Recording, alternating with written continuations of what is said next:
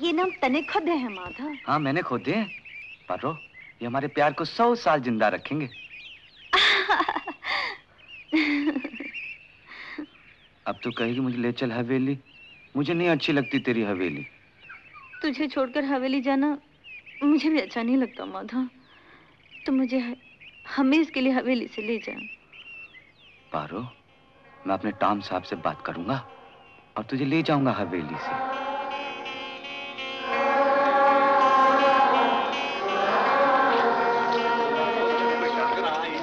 चंद्रमुखी? चंद्रमुखी?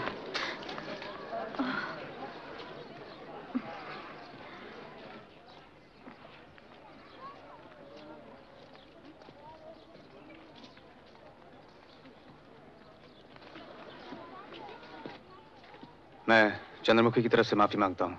उसकी तबीयत ठीक नहीं है। ओ ऐसे अगर आपको एतराज़ ना हो तो आप मेरे यहाँ तशरीफ़ लाइए। कुछ ज़रूरी बातें करनी है। प्लीज़ ओके थैंक यू आओ चले। चंद्रमुखी की दिमागी हालत कुछ नाजुक है। वो समझती है कि वो आपको पिछले जन्म से जानती है, और तब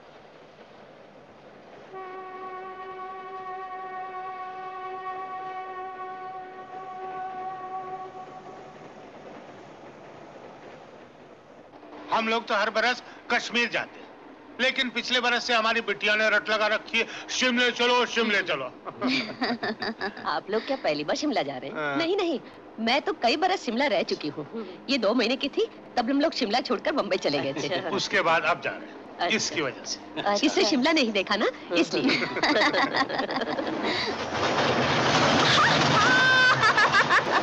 ये लो एक और टनल आ गई।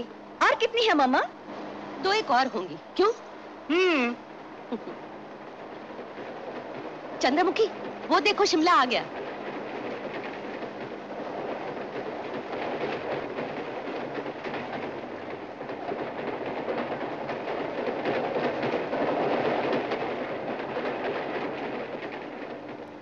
यहाँ तो मैं आ चुकी हूँ। ये क्या बहके बहके बातें कर रही हो?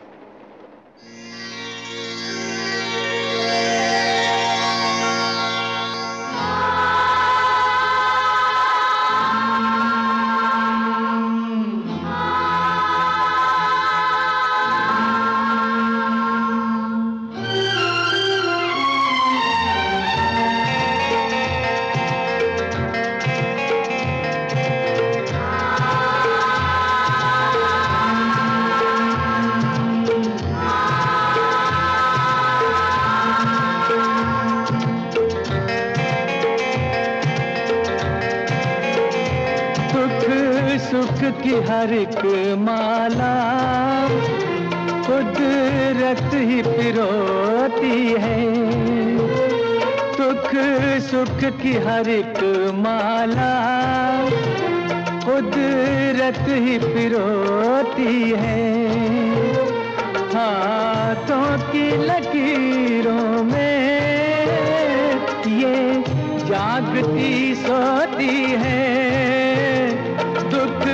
सुख की हर एक माला। कुदरत ही पिरोती है।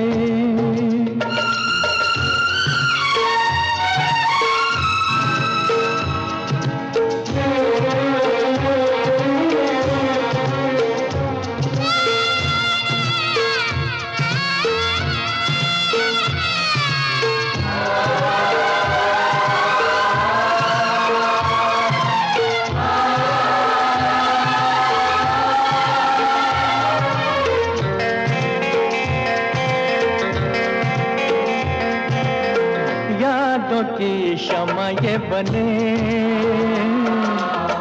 भूले नजारों में कभी। आने वाले कल पे हंसे। खिलती बहारों में कभी।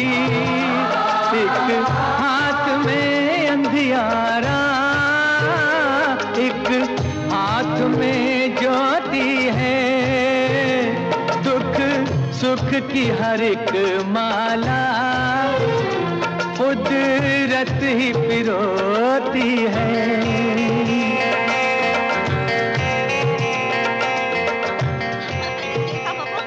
मैं मम्मा से पहले तैयार हो गई अरे आओ ना मम्मा। आज तुम्हारी मम्मी बंठन कर निकली। हाँ। देखो मैंने कहा था। मम्मा तो चलिए, स्मार्ट लग रही है हाँ? आज बेटे हम माल रोड की सैर अच्छा। तुम्हारी मम्मी से हमारी पहली मुलाकात माल रोड पे ही हुई। और हम इनकी मस्त चाल पर मर गए।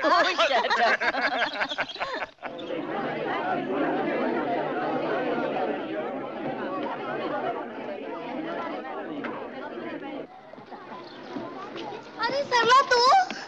अरे तुम यहाँ? अरे मैं तो हर साल यहाँ आती हूँ। और तुम? मैं तो पता नहीं कितने वर्षों के बाद यहाँ आई हूँ। ये है मेरे हस्बैंड और ये मेरी बहुत पुरानी सहेली कांता और ये मेरी बेटी चंद्रमुखी। नमस्ते। अरे वही बच्ची है क्या जो यहाँ पैदा हुई थी? हाँ ये दो महीने की थी जब हम शिमला छोड़कर चले गए थे। सुंदर है। जीती रहो बेटी। अरे कांता तुम्हारा एक बेटा भी तो था ना? हाँ नरेश वो अभी अभी अमेरिका से डॉक्टरी करके आया। है अच्छा। इन दोनों को मिलाओ ना। हाँ। पंजाब की आधी से ज़्यादा शादियाँ इसी माल रोड पे तय होती है। अच्छा सरला ये बताओ तुम ठहरी कहाँ हो? वो सनी कॉटेज में। लो वो कोठी तो हमारे पास में है। अच्छा? हाँ आकाश निवास में हम है। ओह। अच्छा देखो एक बात है। कल की चाय हमारे साथ। ज़रूर। हाँ? क्यों चलेंगे ना?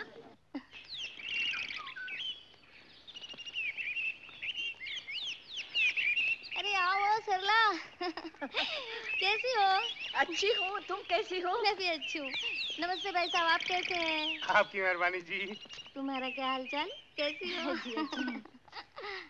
अरे नरेश बेटे इधर आओ। आ रहा हूँ मामा।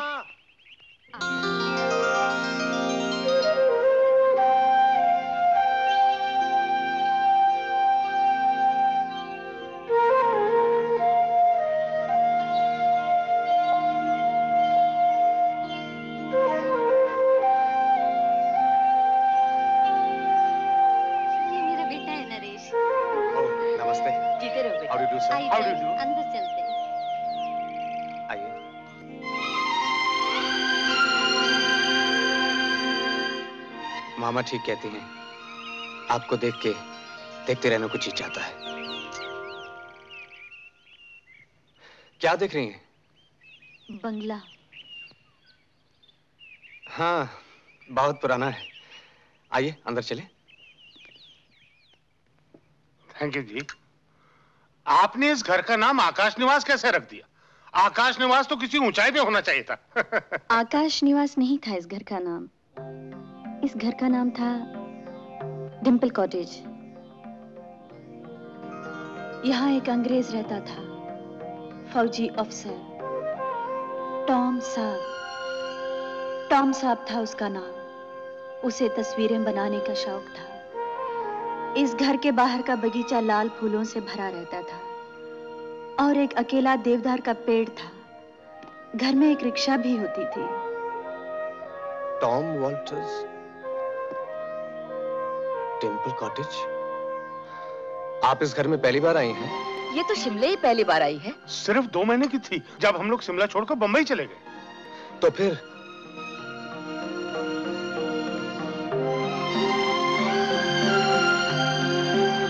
चंद्रमुखी। वैसे घर सुंदर है। कांता तुमने खरीदा है क्या? अरे नहीं रे किराए का है। चौधरी जनक सिंह का है वो शिमले के बहुत बड़े रईस हैं। जितने अमीर है उतने ही नेक इंसान। बीवी मर चुकी है एक लड़की है और उस पे जान दिए रहते हैं।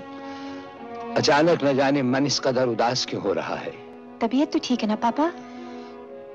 तबीयत की बात नहीं है।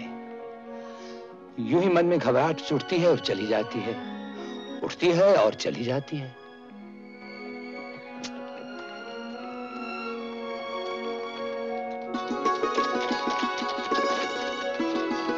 चौधरी साहब भाई तो आज जंगल का कॉन्ट्रैक्ट ठीक चल रहा है ना परमिट से ज़्यादा की लकड़ी मत काटना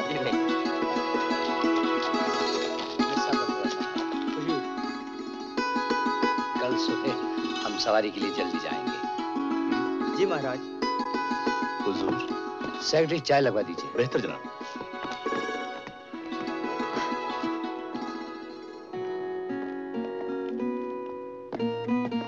मैं अभी आई पापा।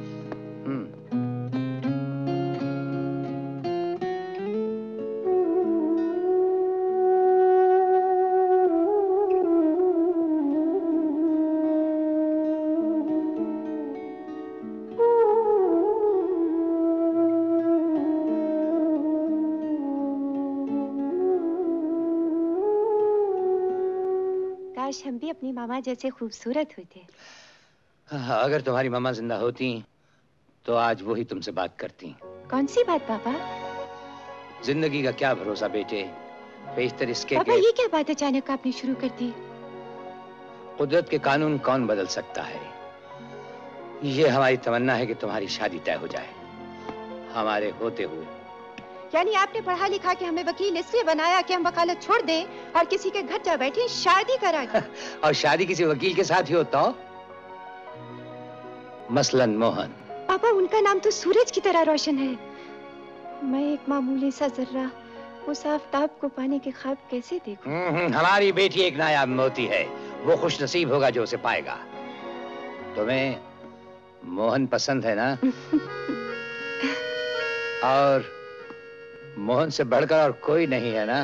पापा से बढ़कर कोई नहीं। मोहन आने वाला है। पहले क्यों नहीं बताया पापा? तो फिर तुम्हारी आँखों में ये चमक कैसे आती?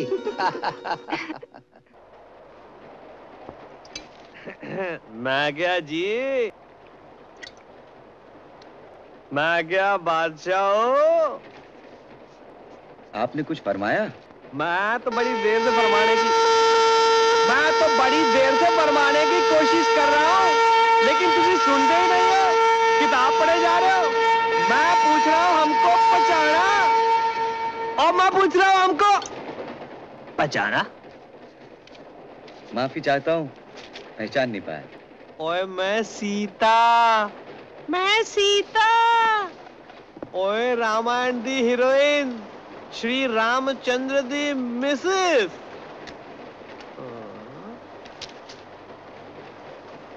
बादशाह आप अमृतसर खालसा स्कूल में पढ़ते थे? जी। तो बादशाह आपका नाम मोहन कपूर है ना? हाँ वो तो है। तो साडा नाम दसो। आ, आ, आ, प्या, प्यारे। अरे प्यारे! अरे प्यारे! जानता तू रामलीला में सीता का रोल किया करता था? पूरी दुनिया चिराया करती थी तुम्हें।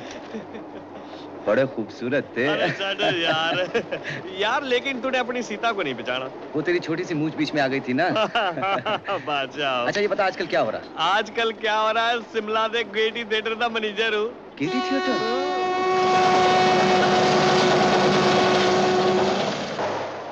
तो यार तू स्कूल छोड़ कर क्यों चला गया?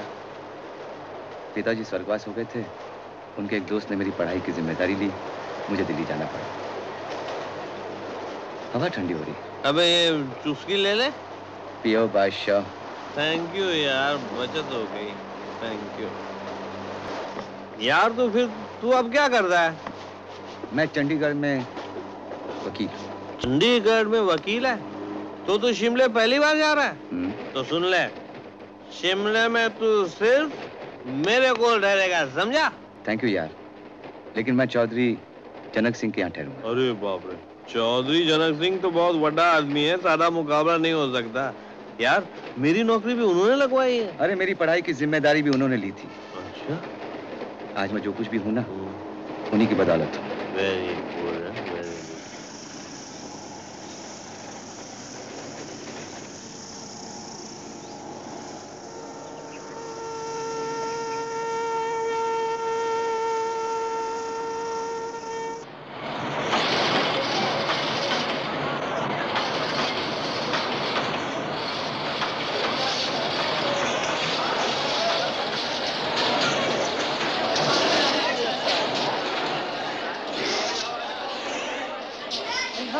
अरे मोहनी तो है अरे भाई आओ जल्दी आओ। अरे आप गले तो लगो मियाँ। नमस्कार चौधरी जी साहब। करुणा। हेलो। हेलो। करुणा भी तुम्हें लेने आई है। चौधरी साहब आपने आने की अरे भाई तुम पहली बार शिमला आए हो हम कैसे नहीं आते? चौधरी साहब नमस्कार प्रणाम। प्यारे लाल? लाल। अरे हाँ तुम्हारा काम हो गया? हुजूर थोड़ी मेहरबानी जिस दे ओदा काम किस तरह नहीं होएगा हुजूर? नमस्ते। हाँ एक बात याद आ गई। तो हुजूर परसों रात ही गेटी थिएटर में सरस्वती देवी का प्रोग्राम रखा है गाने का। साढ़े नौ बजे। हाँ जी हाँ। गेटी आप सबको आना होगा। हाँ मोहन भी आएगा वादा हाँ जी। वादा वादा। करुणा भी वकील बन गई है। यही हाई कोर्ट में प्रैक्टिस करती है। अच्छा। हाँ। इनसे कोई मुकदमा लड़ना पड़ा? तो मैं यकीनन हार जाऊँगा। जरा नवाजी का शुक्रिया।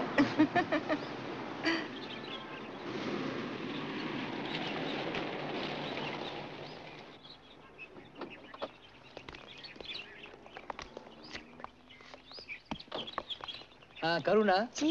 मोहन को गेस्ट हाउस में ठहराओ। वहाँ ज़्यादा आराम से रहेगा। आइए। वो देखिए। पूरा शिमला नज़र आता है। जी। माल रोड बहुत ही खूबसूरत जगह है। ये रहा गेस्ट हाउस। लवली। अरे मोहन एक अच्छी खबर सुनाना भूल ही गए। तुम्हें शिमले का सरकारी वकील बना दिया गया है। अरे जी। पापा मुबारक हो। शुक्रिया।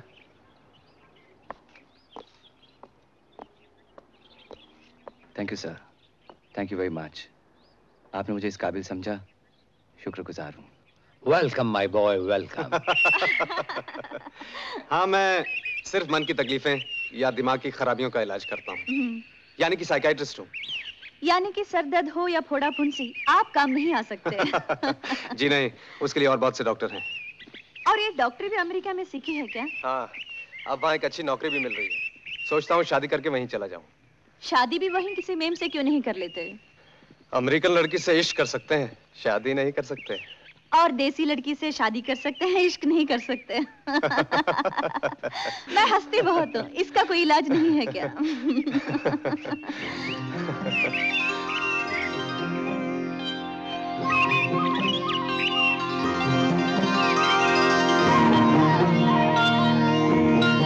चंद्रमुखी? चंद्रमुखी क्या हुआ? क्या हुआ? तबीयत ठीक नहीं। वापस चले? हाँ। चलो।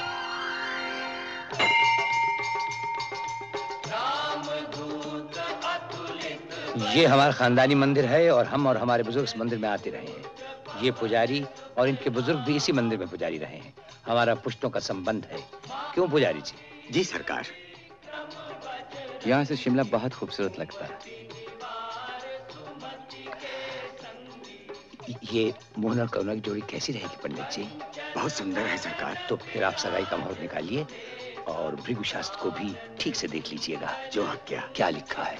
बहुत बेहतर। हाँ यहाँ बहुत सी इमारतें और बहुत से बागीचे हमारे हैं मोहन। और हमारा कोई जानशी नहीं। करुणा तुम्हें पसंद करती है? अगर तुम्हें ये रिश्ता पसंद आए तो हम बहुत खुश होंगे। हमारा एक बड़ा बोझ उतर जाएगा। पहले आपके बहुत एहसान है मुझ पर। कोई जल्दी नहीं सोच लो। चले पापा। आओ।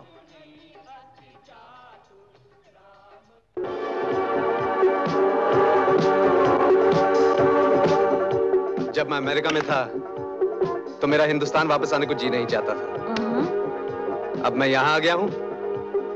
तो वापस वहाँ जाने को जी नहीं चाहता। आप जहाँ जाते हैं वहीं चिपक जाते हैं। आपको अपना इलाज कराना चाहिए। अब तो मेरा इलाज आपके हाथ में है। मेरे हाथ में? हाँ हाँ।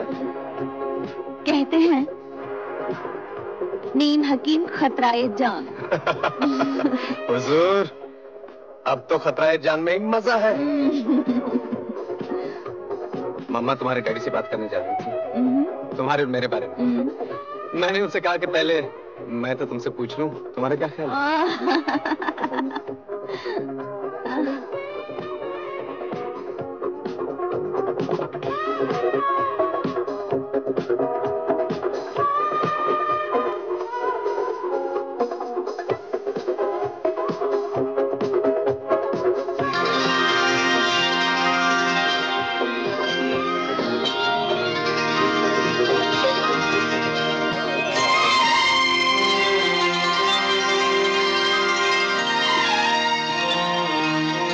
क्या ख्याल है आपका? मेरे सवाल का जवाब नहीं दिया।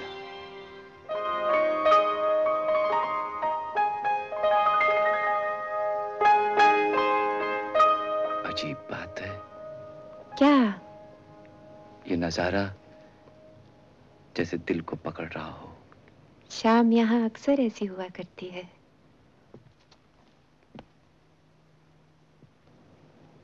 चौधरी साहब बहुत मेहरबान है मुझ पर। मैं अपने आप को बहुत खुश नसीब समझता हूँ। आपकी हमेशा तारीफ़ करते हैं। और आप? हम पापा की बातें सुनकर खुश होते रहते हैं। चौधरी साहब ने कुछ ज़िक्र किया था आपके और मेरे बारे में। पूछिएगा नहीं मैंने क्या सोचा? बात पूछने में बात का लुत्फ नहीं रहता। तो हमें बात कहने में ही लुत्फ आएगा। अरे करुणा मोहन तुम लोग अभी तक अभी तक तैयार नहीं हुए। तुम लोगों ने तो आज शाम किसी प्रोग्राम पर जाना था ना? आप नहीं साथ चलेंगे पापा। अरे बेटे ये सुहानी शामें तो जवानी में ही लुत्फ देती हैं और हमारी तो अब ज़िंदगी की ही शाम आ चुकी है। हम तो गवर्नर साहब से मिलने जा रहे हैं और तुम दोनों के तो हंसने और खेलने के दिन हैं। गाने सुनो थिएटर जाओ हैं?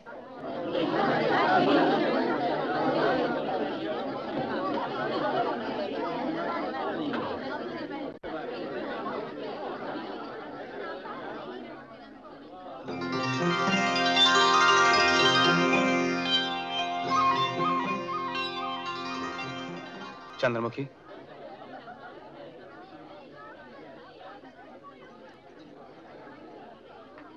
अरे मोहन इधर आजा हाँ?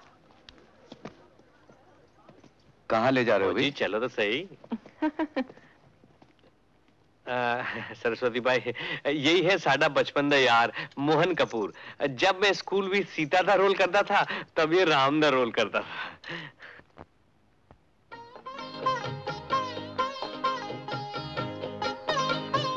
चले। प्रोग्राम का वक्त हो रहा। जी अच्छा।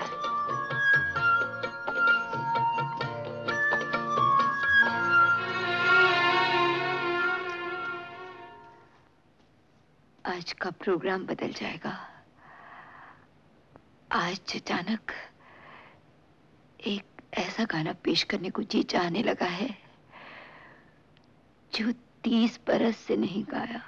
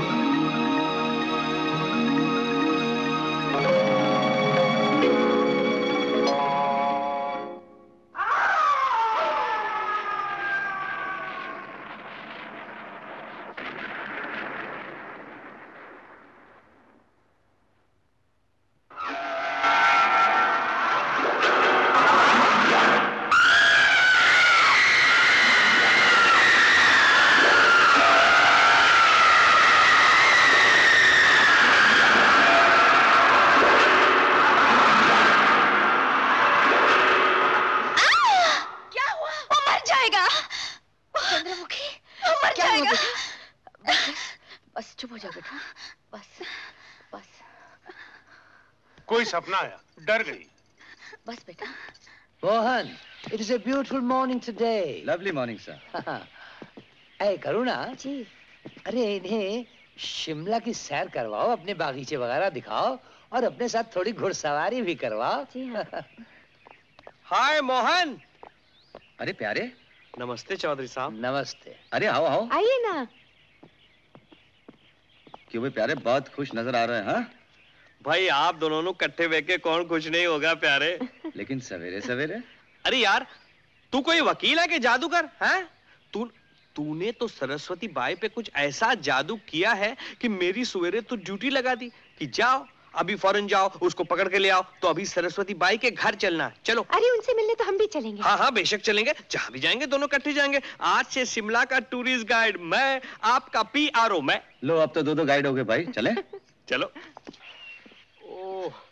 ओ मेरा गोडा वाह, प्यारे आह, आप तो हमें सरस्वती बाई के घर ले जा रहे थे हाँ वो क्या इस जंगल में रहती पापे एक मिनट रुक जा मेरे थल्ले की सांस थल्ले रह गई मैं दिमाग में थोड़ा पेट्रोल पालू हाँ पालो हाँ, देख वो वेख हाँ दरख्त ही दरख्त है ਨਹੀਂ ਨਹੀਂ ਉਹ ਦਰਖਤਾਂ ਦੇ ਵਿੱਚ ਉਹ ਮੋਟਾ ਸਾ ਦਰਖਤਾਂ ਦਾ ਪਿਓ ਬਾਪ ਦਿਖਦਾ ਹੈ ਕਿ ਨਹੀਂ ਉਹਨੂੰ ਪਾਮਾ ਦਰਖਤ ਕਹਿੰਦੇ अच्छा ਪਾਮਾ ਦਰਖਤ पामा नहीं समझे ना नहीं समझे चलो चलो समझा लो चलो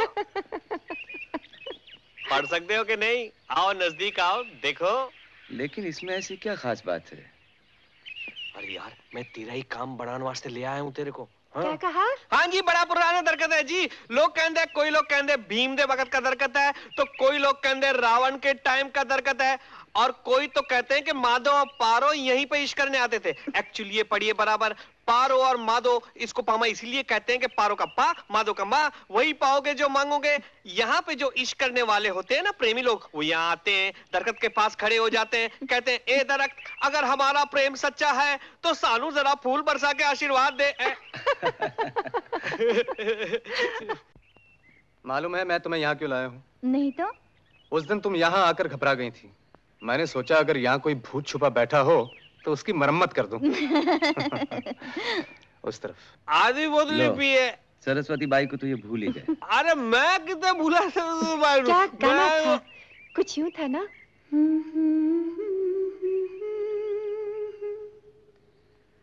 ला ला ला ला ला ला। मगर जी नहीं सकते। तुम्हारे बिना। हमें तुमसे प्यार कितना, ये हम नहीं जानते। बंद करो बंद करो ये गाना। तुम कौन होती हो ये गाने वाली?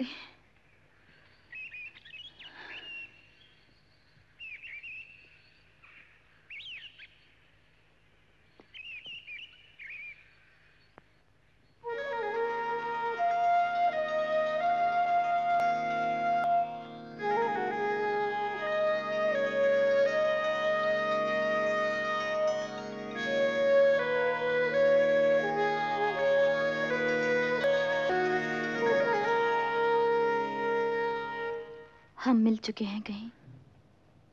उस दिन थिएटर में देखा था आपको? नहीं उससे पहले। कहीं। आप चंडीगढ़ आई हैं कभी? नहीं। कहाँ रहती हैं आप? बम्बई मैं बम्बई कभी नहीं गया। पर आँख धोखा भी खा सकती है। लेकिन दिल कहता है मिल चुके हैं। हाँ चंद्रमुखी। मैं डॉक्टर नरेश हूँ। Mohan Kapoor. Nice meeting you pleasure ये करुणा जी। नमस्ते। चले चलें। सी यू अगेन आजी मैं मामा गाइड कमाल है सानू मिला नहीं। सोनी कुड़ी नाल मिलान दे नहीं तुझे की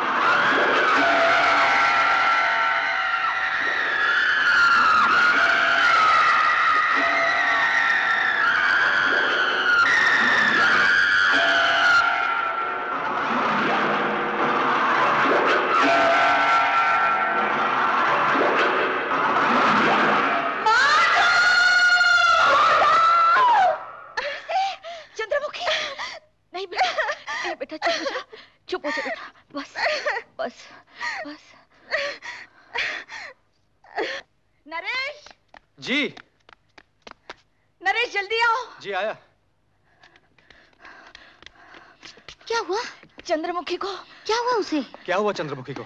अचानक रात को चीख मार कर उठी। कोई भयानक सपना। पहले भी ऐसा सपना आया था। कल रात को बिल्कुल वही सपना। कल रात को चिल्ला रही थी वो मर जाएगा मर जाएगा। और आज आज आज माधो माधो करके चिल्ला रही थी। चलो बेटा जल्दी चलो। जा बेटा हाँ चलिए आइए। जल्दी जा घबराइए मत सब ठीक हो जाएगा। नरेश साथ ही आ गया है। आपने इतनी सुबह आने की तकलीफ़ की। ये तो मेरा फ़र्ज़ है। प्लीज़ कम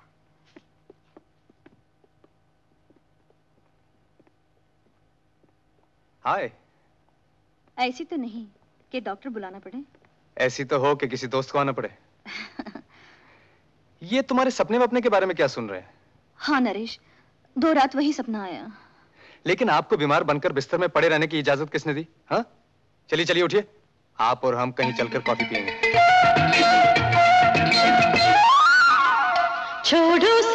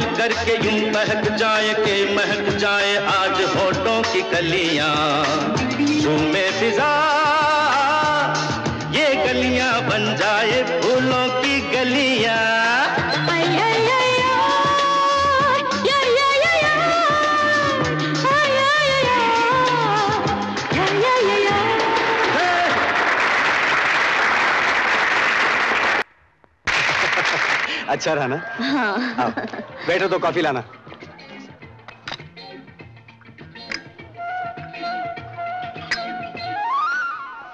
छोड़ो सनम। याद है उस दिन घर आई थी तो किसी टॉम साहब का ज़िक्र किया था? हाँ। फिर जंगल में अचानक परेशान हो गई। फिर भयानक सपने आने लगे। और अब इस वकील को देख के तुम्हें कुछ हो जाता है। क्या बात है? पता नहीं नरेश उसे देखते ही लगता है उसे मैं कहीं मिल चुकी हूँ।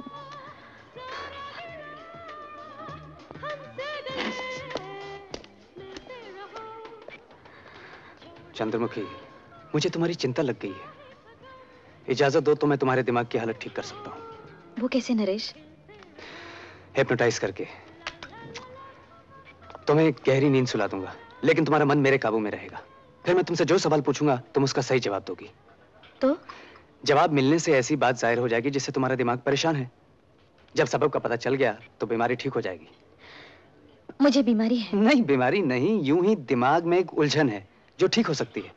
और हाँ जब मैं तुम्हें नींद से जगाऊँगा तो तुम्हें कुछ याद नहीं रहेगा कि तुमने मुझे क्या बताया लेकिन तुम्हारा इलाज मेरे काबू आ चुका होगा। अब आँखें बंद करो।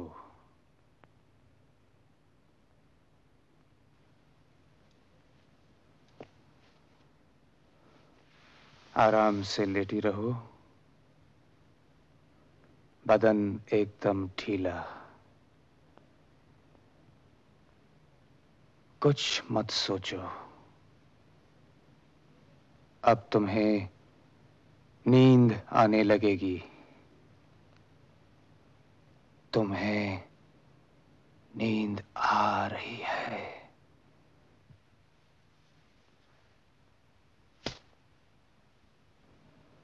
अब जब तक मैं नहीं जगाऊँगा, तुम नहीं जागोगी। मेरी आवाज़ के सिवा तुम और कुछ नहीं सुन सकती। जो पूछूँगा उसका जवाब देती जाओगी। क्या नाम है? चंद्रमुखी। उम्र क्या है? बीस। अब तुम अपनी बीती हुई ज़िंदगी के हिस्से में कदम रखती जाओगी। तुम्हारी उम्र पंद्रह बरस की है। क्या उम्र है? पंद्रह। क्या कर रही हो? मम्मी के साथ हूँ। तुम्हें कोई सताता है? नहीं। अब और पीछे चलो अपनी ज़िंदगी में। क्या उम्र है? क्या उम्र है? क्या उम्र है? बीस। बीस? नाम क्या है? पारो। पारो। पारो? कहाँ हो? हवेली में। हवेली कहाँ है? शिमले में। माधव कौन है? मेरा मंगेतर। कहाँ का है? बड़ा ही गाँव का। ये हवेली तुम्हारी है? नहीं मेरा बापू वहाँ का माली है। सन कौन सा है? 1945 1945 1945 नाम पारो उम्र 20 माधव मंगेतर मुझे तो लगता है ये पिछले जन्म में पहुँच गई है। हाँ डॉक्टर ऐसे ही लगता है। Oh my God oh my God मैंने तो कभी ऐसे मरीज़ का इलाज नहीं किया जिसका दिमाग पिछले जन्म से परेशान हो। तो कुछ और सवाल पूछ के ना? नहीं नहीं मुझे फ़ौरन इसे होश में वापस लाना पड़ेगा नहीं तो खतरा है। अगर मैं इसे होश में वापस नहीं ला सका तो ये उम्र भर के लिए पागल हो जाएगी।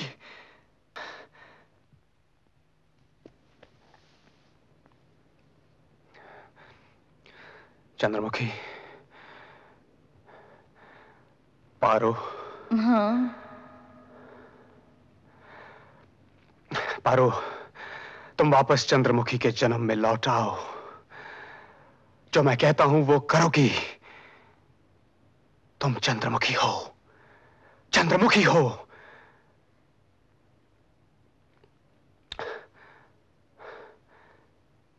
चंद्रमुखी। चंद्रमुखी। गॉड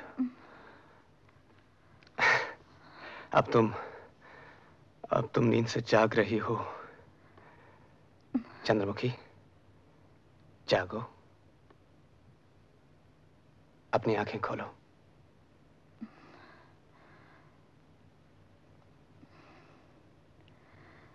ओ नरेश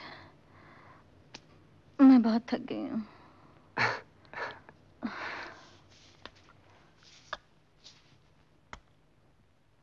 तो क्या कोई पिछले जन्म की बात उसे सता रही है? जी तो इसका इलाज? सोच समझ के कदम उठाना पड़ेगा। जो बात वो कहे हाँ में हाँ मिलाते जाइए। माधव के अलावा वो किसी हवेली का ज़िक्र करती है। यहाँ तो हर बड़ी कोठी को हवेली कहा जाता है। कोठी का नाम नहीं बताती नहीं किसी गाँव का वो ज़िक्र करती है? बड़े गाँव। हाँ वो तो है। शिमले के नीचे हनुमान जी का मंदिर है। उसके पीछे जो गाँव है वही बड़े गाँव है। मैं म्यूनिसपैलिटी के आदमी को बुलाकर शिमले का नक्शा भी देख लेता हूँ। मुमकिन है पता लग जाए हवेली कहाँ है। पहले उसे गाँव ले चलते हैं। शायद उसकी याद ताज़ा हो जाए। किसी चीज़ को देखकर वो ऐसी बात करे जिससे उसका इलाज पकड़ में आ जाए।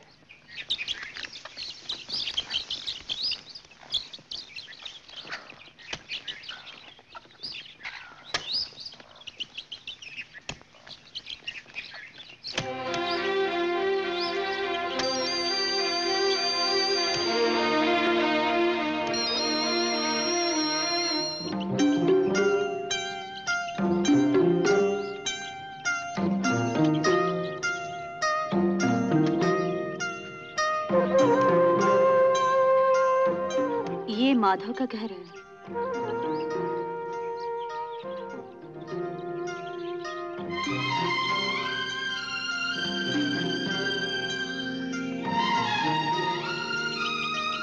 आ, सुनो बच्चों ये किसका घर है? पता नहीं। यहाँ पे कोई नहीं रहता। कोई नहीं रहता।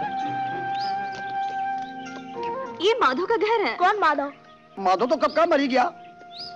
कुछ याद है कब? पता नहीं महाराज तब तो अंग्रेज़ का राज था हो गए होंगे पच्चीस तीस वर्ष और उसकी तो एक बहन भी थी ना। आओ। सत्तो बहन। हाँ हाँ सत्तो। पर पता नहीं वो किधर गई। जिंदी भी है कि मर गई? कल कोई आई थी घर साफ़ करके चली गई। कौन थी? क्या मालूम? फिर आएगी। वो सफ़ाई करके चली गई। क्या पता फिर आ जाए? क्या जाने?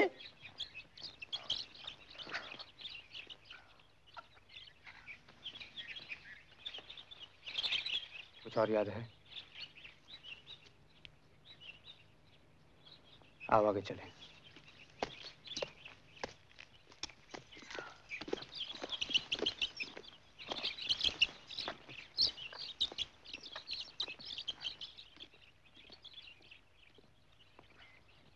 ये कौन है? बोर्ड के लिए गिनती करते होंगे। और ये कौन है? ये इनकम टैक्स वाले होंगे। निकल चलो। चलो चलो। छोटी बेबी आप? नमस्ते। ओफो हम तो वकील साहब को बागीचा दिखाने लाए थे हाँ। और तुम फिर नशे में हो। इस बार मैं पापा से ज़रूर तुम्हारी शिकायत करूँगी। ये लो तुम्हारी तनख्वाह। छोटी बेबी आजकल तो मैं बोतल चढ़ना ही बंद कर दिया। वकील साहब आप पीते हैं क्या? जी नहीं। तो फिर मैं कैसे पीऊं? अबे तो चल चलिए बगीचा दिखाते इधर से इधर से। जल्दी आइएगा तनख्वाह मिली है।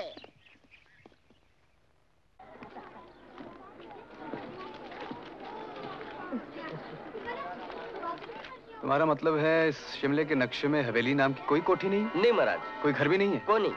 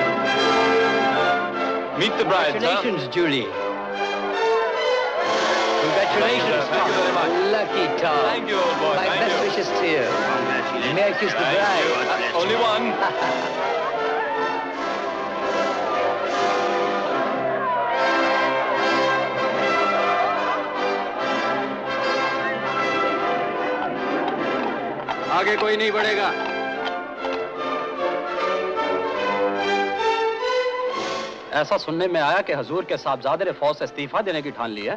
नवाब साहब आजकल हमारी तबीयत बहुत खराब रहती है और फिर जमीनों की देखभाल भी ज़रूरी है। लिहाजा नवाब तुम्हारा ही ज़िक्र हो रहा था। पिताजी आप थके हुए नज़र आ रहे हैं यहाँ शायद देर लग जाएगी। चलिए देखा हमारे बेटे को हमारा कितना ख्याल है। जी जी जी। आइए। I suggest you go to Kashmir for your honeymoon. Yes, sir. Fishing is लड़की, किधर जाती हो? wonderful. ठीक है तुम पीछू जाओ नीम sir Yes, sir, you were आपका telling about नहीं? Kashmir, was it? How sweet. Yes, but I don't think you'll have much time for fishing, will you? Thank you. No, sir, I'm sure we won't. शाम को Well, ना sir, जाएं। thank you very much. Well, Julie. Happy time, Julie. How are Thank you? you. Not too Bye-bye. cold, I hope. Right, sir.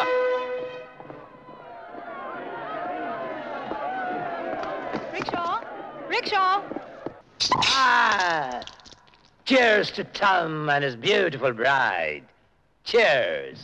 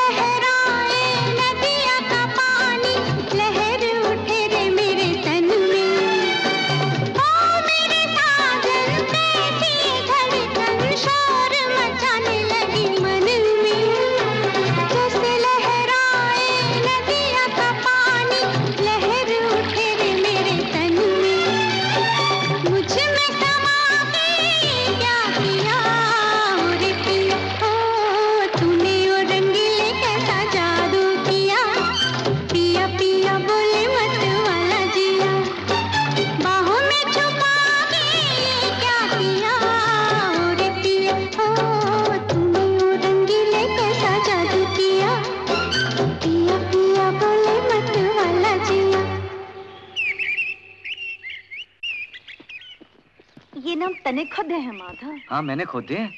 पारो ये हमारे प्यार को सौ साल ज़िंदा रखेंगे। अब तो कहेगी मुझे ले चल हवेली। मुझे नहीं अच्छी लगती तेरी हवेली। तुझे छोड़कर हवेली जाना मुझे भी अच्छा नहीं लगता माधव। तो मुझे ह- हमेश के लिए हवेली से ले जा पारो मैं अपने टॉम साहब से बात करूँगा और तुझे ले जाऊँगा हवेली से।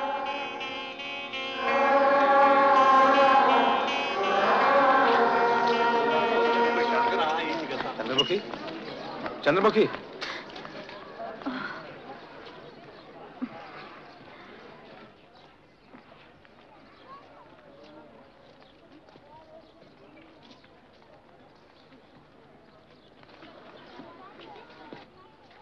मैं चंद्रमुखी की तरफ़ से माफ़ी माँगता हूँ। उसकी तबीयत ठीक नहीं है। ओ ऐसे अगर आपको एतराज़ ना हो तो आप मेरे यहाँ तशरीफ़ लाइए। कुछ ज़रूरी बातें करनी है। प्लीज़ ओके थैंक यू आओ चले। चंद्रमुखी की दिमागी हालत कुछ नाजुक है। वो समझती है कि वो आपको पिछले जन्म से जानती है और तब आपका नाम माधव था। लेकिन मुझे याद क्यों नहीं आता कि पिछले जन्म में उसे जानता था? मैंने आपसे कहा ना कि उसकी दिमागी हालत नाजुक है। अगर फिर वो कभी आपको माधव कह के पुकारे तो बुरा मत मानिएगा। वरना उसके दिमाग को थक्का पहुँचने का खतरा है। और किसी हवेली का ज़िक्र करे तो मुझे ज़रूर बताइएगा। आप डॉक्टर हैं? आप पिछले जन्म में विश्वास करते हैं? विश्वास तो वो करती है। मैं एतराज़ नहीं करता क्योंकि इलाज करना है। इसलिए आपको तकलीफ़ दी। अगर फिर कभी आपको बुलाऊं तो आइएगा। इलाज में आपकी ज़रूरत पड़ेगी डॉक्टर साहब ना मैं किसी लड़की की दिमागी कहानी के किस्सों में उलझना चाहता हूँ।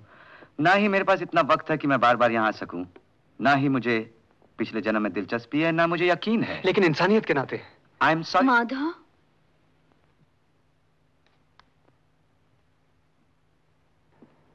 Chandramukhi ये मोहन कपूर साहब हैं माधव नहीं। डॉक्टर नरेश समझते हैं मुझे कुछ दिमाग की बीमारी है। बीमारी नहीं चंद्रमुखी। मामूली सी उलझन है जो निकल जाएगी।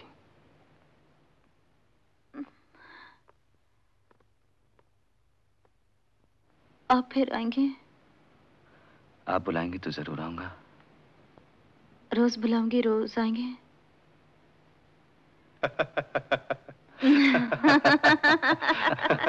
मैं हंसती बहुत हूँ। मोहन साहब हमसे मिलने आया करेंगे। क्यों मोहन साहब?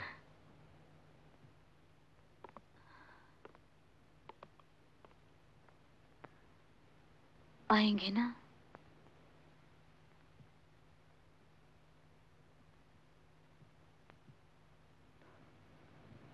हाँ आऊँगा।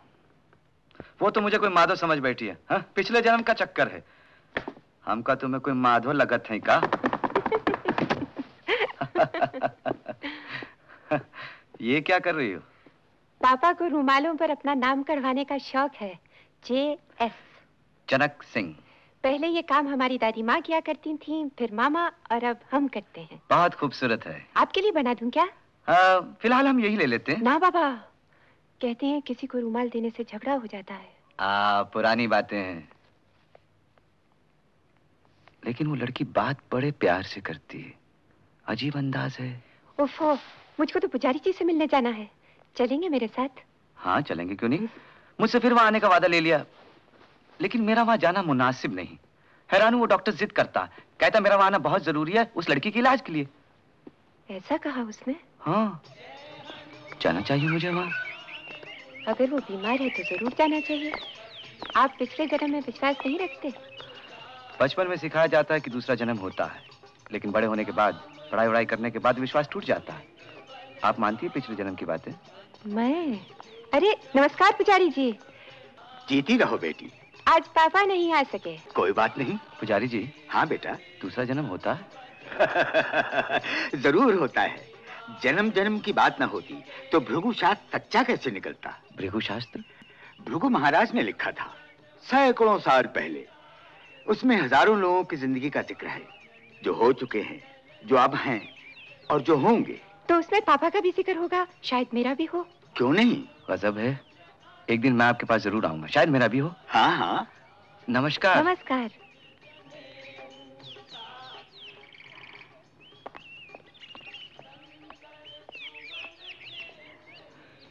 आपका गाना कभी नहीं भूल पाऊँगा। पुजारी जी पापा ने ये हज़ार रुपए भेजे हैं मंदिर के लिए। धन्यवाद। करुणा? नमस्कार। जीती रहो। आपका वो गाना मुझे हमेशा याद रहेगा। मैंने कहा था ना करुणा जी भी वही कहेंगी। जीते रहो दोनों। आपको देख के अजीब सी खुशी उमड़ती है दिल में। कल गाँव वालों ने मुझे मेले में बुलाया है। शायद वो लोग वहाँ मेरा एक पुराना देहाती गाना गाएँगे। अपने जमाने में मैं गाया करती थी। तुम लोग मेरे साथ क्यों नहीं चलते?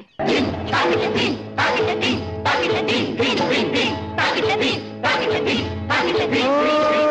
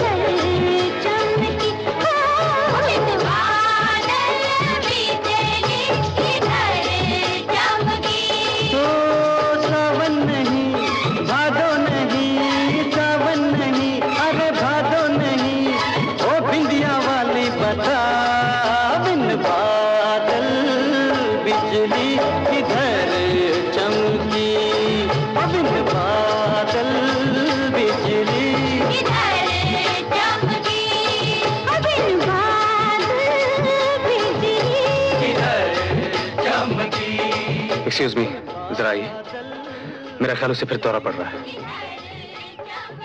किसे ढूंढते हो जी? वो जो आपके साथ आई थी जी। वो तो तुमको गई? इस तरह। तो जी हाँ। पीछे जाओ। तुमसे बात ज़रूर करेगी।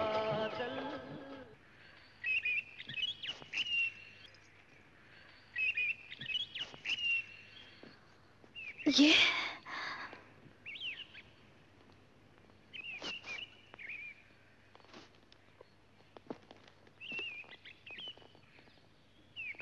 क्या सोच रही है चंद्रमुखी? यूँ ही भटक रही हूँ। तुम यहाँ क्यों आए? चले जाओ यहाँ से। नहीं मत जाओ मोहन। मत जाओ। तुम मत जाओ। ये देखो मैं तुम्हारे लिए क्या लाया हूँ।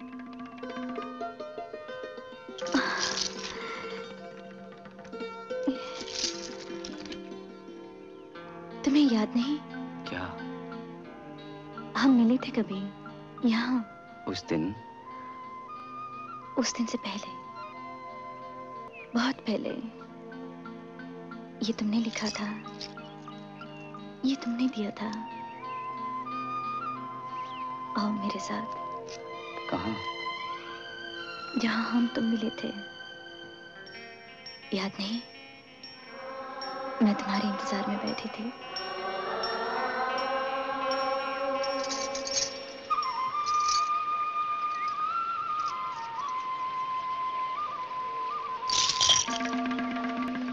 माधव? माधव? मेरे वास्ते? नहीं मैं पहनूँगा इसे। देख इसमें क्या लिखा है? क्या? माधो पारो माधो हाँ। पारो।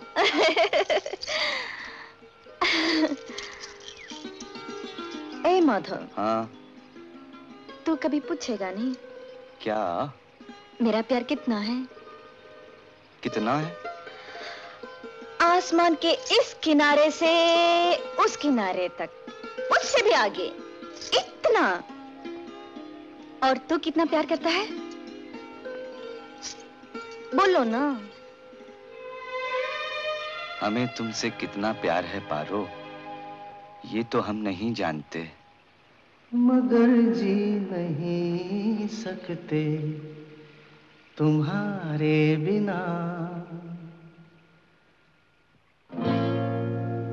हमें तुमसे प्यार कितना जानते, मगर जी नहीं सकते। तुम्हारे बिना हमें तुमसे प्यार कितना, ये हम नहीं जानते, मगर जी नहीं सकते। तुम्हारे बिना हमें तुमसे प्यार।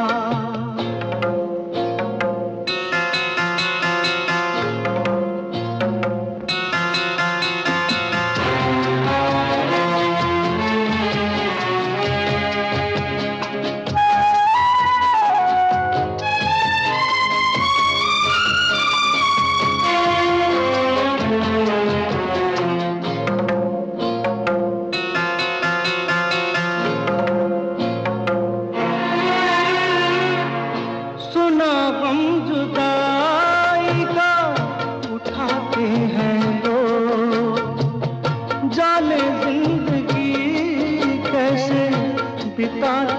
लोग।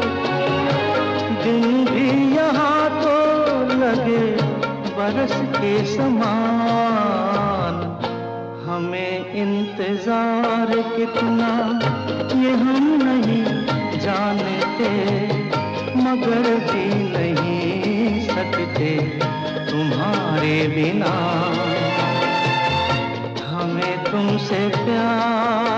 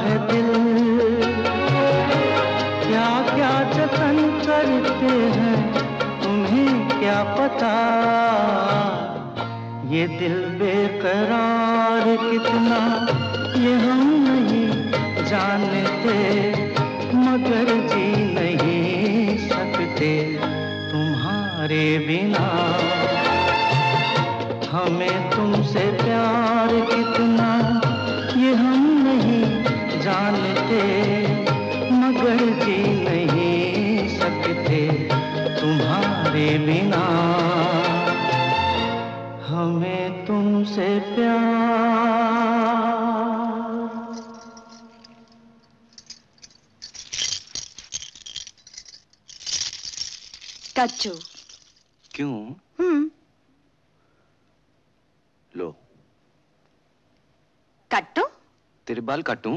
कट्टू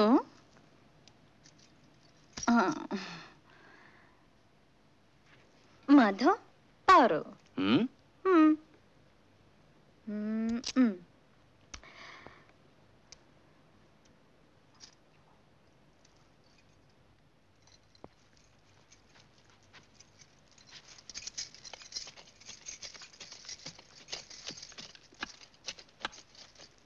ये क्या कर रही हो?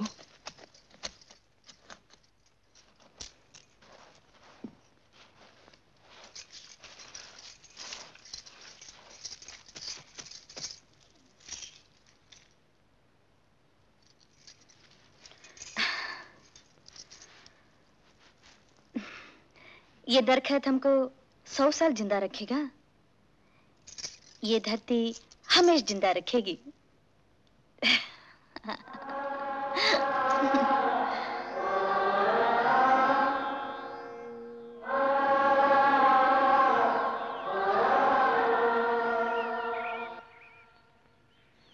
कुछ याद आया?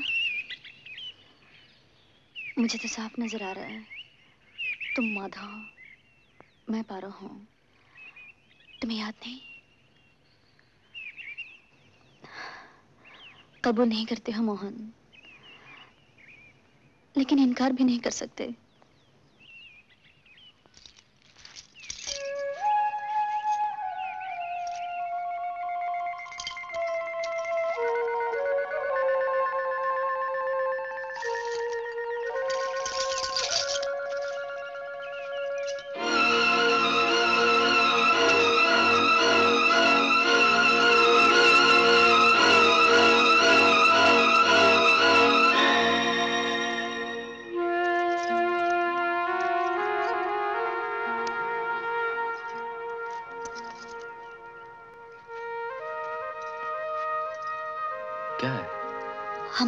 की निशानी।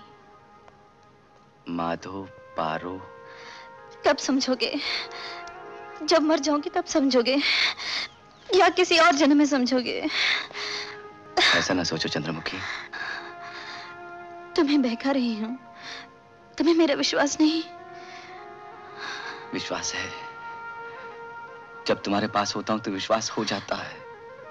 तो तुम हमेशा मेरे पास रहो। हमेशा मेरा विश्वास करो। मोहन इतनी देर मेरे बिना कैसे रह सके? न जाने कैसे रह सका। प्यार करते हो मोहन? हाँ हाँ करता हूँ। हाँ चंद्रमुखी करता हूँ बहुत करता हूँ। कब से करता आया हूँ? सीना फट जाए उतना करता हूँ। माधव मुझे हवेली से हम इसके लिए ले जा। हवेली? कहाँ है हवेली? चंद्रमुखी कहाँ है हवेली? बोलो बताओ। मुझे नहीं मालूम। मुझे कुछ पता नहीं। मुझे कुछ याद नहीं। मुझे कुछ याद नहीं। मोहन मुझे कुछ भी याद नहीं। ये तुम्हें क्या हो जाता है?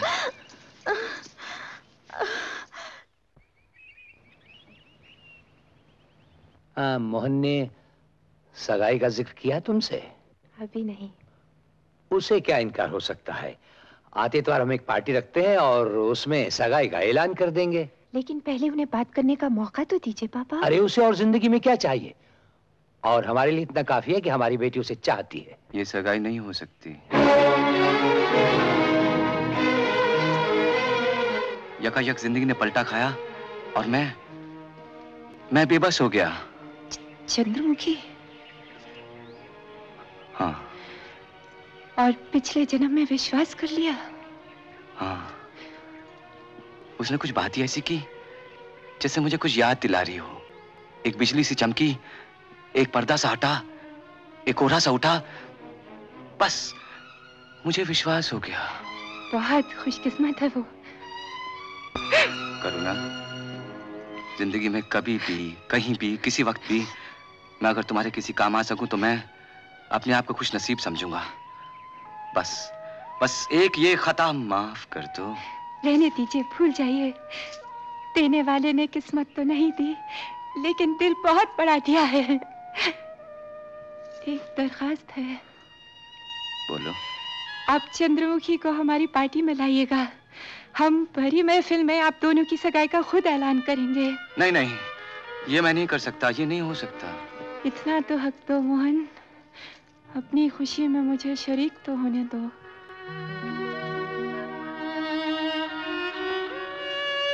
वादा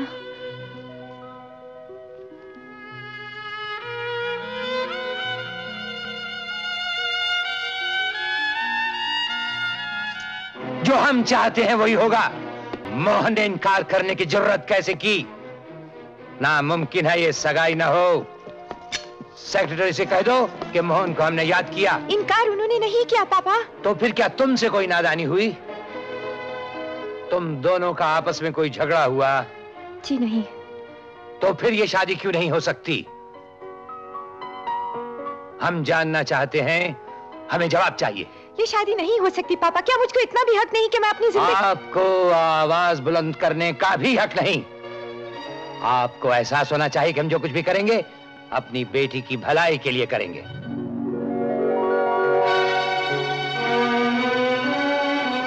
दूनी चंद हुजूर। आते इतवार की पार्टी का सब अफसरों और रईसों को बुलावा भेज दो। उस भरी महफिल में हम करुणा की सगाई का ऐलान करेंगे। बहुत बेहतर जनाब। राय साहब भाई लड़के का क्या सोचा? लॉ भी पास कर चुका है जवान हो चुका है इसकी शादी वादी करवा दीजिए। क्यों मैं बरखुरदार तो आप उन दिनों चंडीगढ़ में थे। चंद्रमुखी आ रही है ना? अरे आइए जज साहब आइए आइए। आपने तुम्हें बहुत इंतज़ार कराया। भाभी आपको बहुत मुबारक और हमारे जज साहब सेशन जज बन गए हैं। शुक्रिया, हाँ, चौधरी साहब। अच्छा आपको आने बहुत तकलीफ़ हुई होगी। कोठी नहीं दूर है ना? अरे मोहन जरा ख्याल रखना इनका। ए मुंशी जी। अरे मुंशी जी। कैसे आइए इधर आइए। जी महाराज। जी महाराज। जी। मोहन जरा इधर। हाँ मुंशी जी। सब लोगों को जरा खामोश करवाइए। हम ऐलान करेंगे। जल्दी। साहेबान!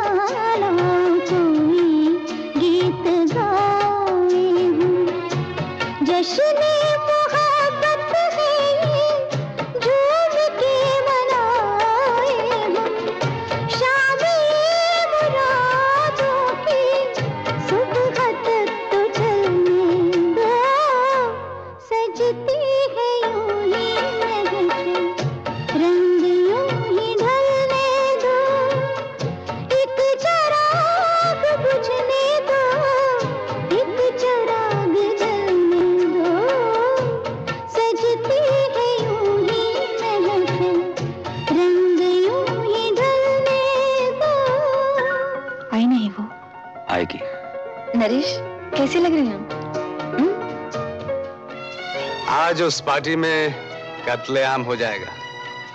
ऐसी लग रही हो। कुछ घबराहट से हो रही है। वजह क्या है?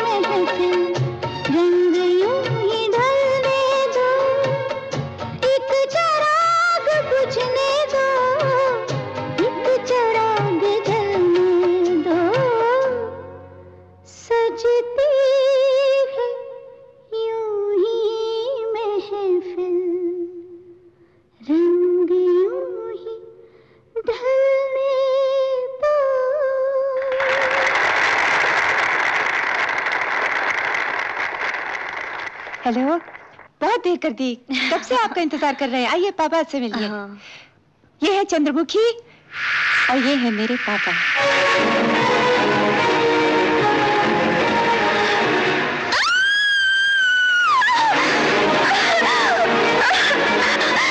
ये बदतमीज ये बदतहजीब ये लड़की कौन थी? मोहन इससे शादी करना चाह रहा है। क्या कहा? मोहन इससे शादी करना चाह रहा है। ये बात ये बात तुमने अब तक क्यों छुपाई? चंद्रमुखी! चंद्रमुखी! क्या हुआ? चंद्रमुखी? क्या हुआ? हाँ? कॉफ़ी।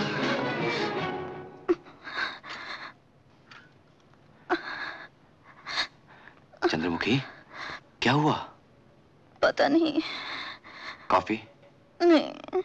चंद्रमुखी सोचो सोचो। कुछ तो बताओ। तुम इस तरह डर क्यों गई? क्या हुआ?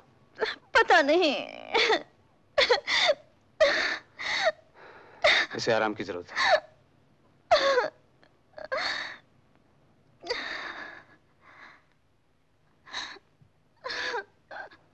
अगर ये कुछ बता दे तो शायद कोई राज खुल जाए। उसका इलाज भी आसान हो जाए। उसे फिर से हिप्नोटाइज करो। गहरी नींद में ले जाओ। शायद उस हालत में कुछ बता सके। ऐसा करने में खतरा है। क्या खतरा है? वो पिछले जन्म में पहुँच जाएगी और शायद मैं उसे वापस ना ला सकूँ। लेकिन और कोई चारा भी नहीं। वो पागल होगी तो? यूँ भी तो पागल होती जा रही है वो। मैं ये ज़िम्मेदारी नहीं ले सकता। उसकी हालत तो देखो यही तक तुम्हारा प्यार प्यार का वास्ता मत दो!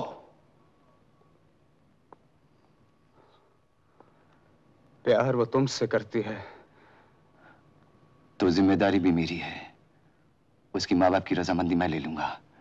लेकिन तुम हाँ करो। करो। अच्छा। लेकिन ये आखिरी बार है। चंद्रमुखी, अब तुम गहरी नींद में हो। अब तुम अपने पिछले जन्म में जा रही हो, जब तुम पारो थी। अब तुम पारो हो। मैं जो कुछ पूछूँ उसका जवाब मुझे देना।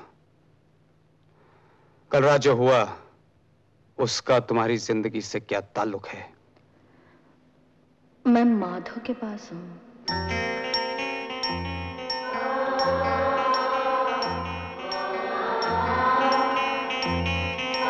अब मैं तुझे हवेली से जल्दी ले जाऊँगा। झूठ बोले हैं माधव। ब्याह के ले जाऊँगा। कब? बहुत जल्दी। राम साहब बोले ये ले दो सौ रुपया जा शादी बना ले। टाम सब बहुत अच्छे हैं। माधव जब भी ये ढलता सूरज देखूँगी तो तेरी ये बात याद आएगी। एक बार रो। अब तो मैं हमेशा तुझे दुल्हन के रूप में देखता हूँ। हमेशा। बहुत बेचैनी होने लगी। सुहाग रात तक ज़िंदा रहना भी मुश्किल है बहुत मुश्किल है। माधव मैं भी अपने को तेरी दुल्हन के रूप में देखूँगी हर वक्त। बारिश होने वाली चल। अरे आई थी। मैं तुमसे प्यार कितना हम नहीं जानते। फिर क्या माधव ए, अब तो हमारी शादी होने वाली है ना। मज़ा आ रहा ए, है अरे अरे बाबा। शर्म नहीं आती तुम दोनों को। अब शादी के बाद जितना जी चाहे घूमना फिरना। अच्छा। चल भाग। शकल क्या देख के भाग यहाँ से? इतनी देर क्या लगा दी तेने? वो बड़े सरकार की तबीयत ठीक नहीं। वो सोई गए हैं। और सुन छोटे सरकार खासी देर से आवेंगे आज। अच्छा। उनके कमरे में जल्दी से आग जलाए थे। जा जल्दी जा। मैं पहले कपड़े तो बदल लूँ भीग गए हैं। अरे कपड़े बाद में बदल लीजिए मैं गाँव जाके आता हूँ तू जा जल्दी काम कर। ए, पारो, आग अच्छी खासी जला दीजिए ठंडी बहुत पड़ रही है। अच्छा बाबा।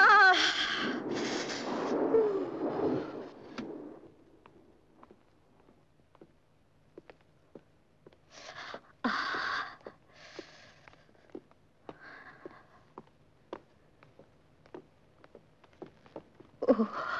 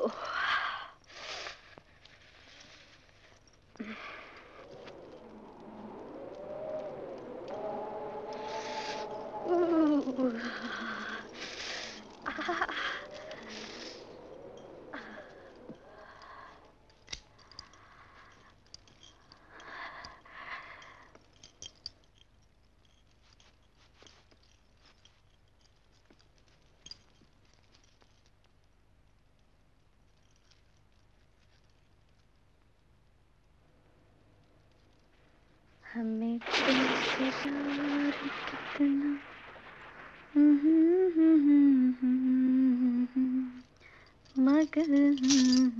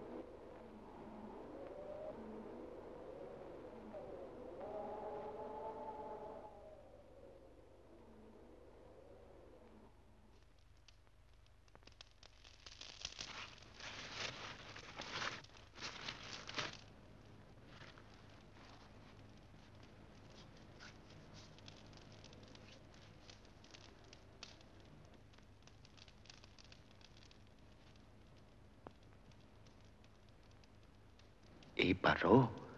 अब तो मैं हमेशा तुझे दुल्हन के रूप में देखता हूँ। हमेशा। बहुत बेचैनी होने लगी। सुहाग रात तक ज़िंदा रहना भी मुश्किल है बहुत मुश्किल है। माधव मैं भी अपने को तेरी दुल्हन के रूप में देखूँगी हर वक्त। हाय बहुत सुंदर लगती हो पारो तुझे मैं रानी बनाऊँगा।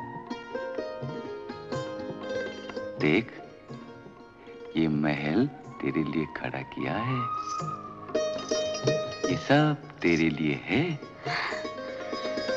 ये सब मेरे लिए और मैं तेरे लिए माधव देख सेज सजाई है पारो। तेरे और मेरे लिए।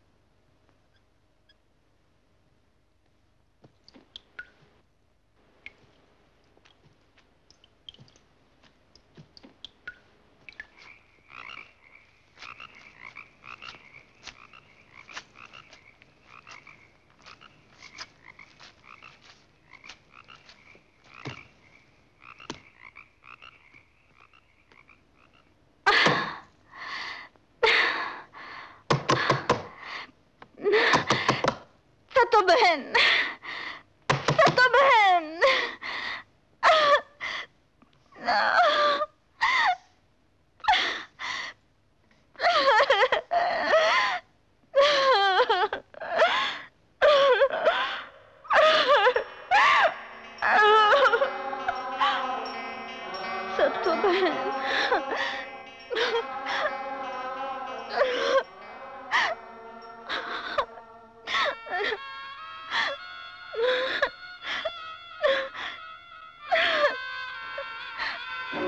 हवेली में खोई पड़ी है।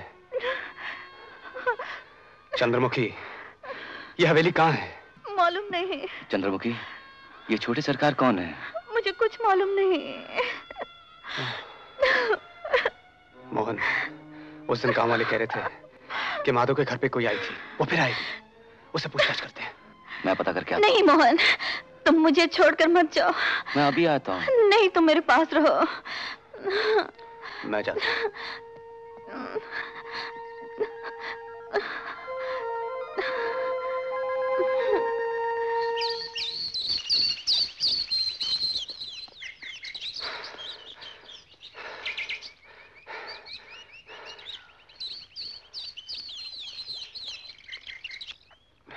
नमस्कार। क्या आप बता सकती हैं कि सत्तो कौन है कहाँ है?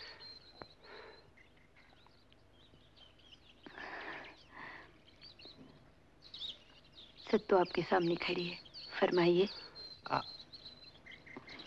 मेरा बचपन का नाम है। मैं डॉक्टर नरेश हूँ। एक अजीब दरख्वास्त लेके आया हूँ। कहिए। मेरी एक मरीज़ बड़ी नाजुक हालत में है। मैं आपकी मदद चाहता हूँ। मेरी मदद? जी हाँ आपका बड़ा एहसान होगा। सिर्फ़ शिमले तक जाना है। बड़ी शौक से मुझे भी वैसे शिमले ही जाना है। लेकिन मेरी समझ में नहीं आया कि मेरी मैं आपको रास्ते में सब कुछ समझा दूँगा। चलिए। आइए।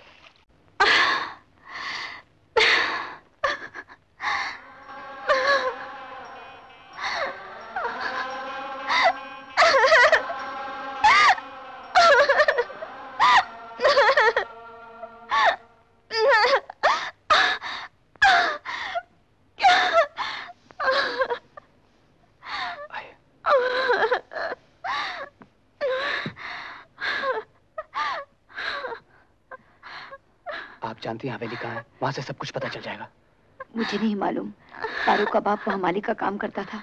बस इतना ही जानती हूँ मैं। पारो का क्या हुआ? ये भी नहीं मालूम। माधो की मौत के बाद मैं शिमला छोड़ के चली गई थी। कैसे पता चलेगा? भृगु महाराज के पास मैं वहाँ गई थी। वो कौन है? मैं जानता हूँ। क्या बताया आपको? जब माधु दूसरा जन्म लेगा तुम्हें मिलेगा। मिला?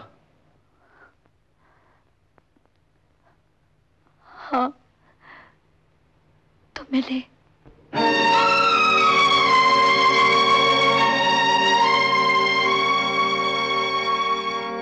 मुझे पूरा विश्वास है। आप डॉक्टर साहब हैं। आप विश्वास न करें। आप वकील साहब हैं। शायद आप भी विश्वास न करें। आप लोग बहुत पढ़े लिखे हैं ना। लेकिन मैं तो अनपढ़ गंवार हूँ। मुझे पूरा विश्वास है। देखिए, अगर आपको विश्वास ना भी हो, तब भी एक बार मेरे साथ चलिए। अभी।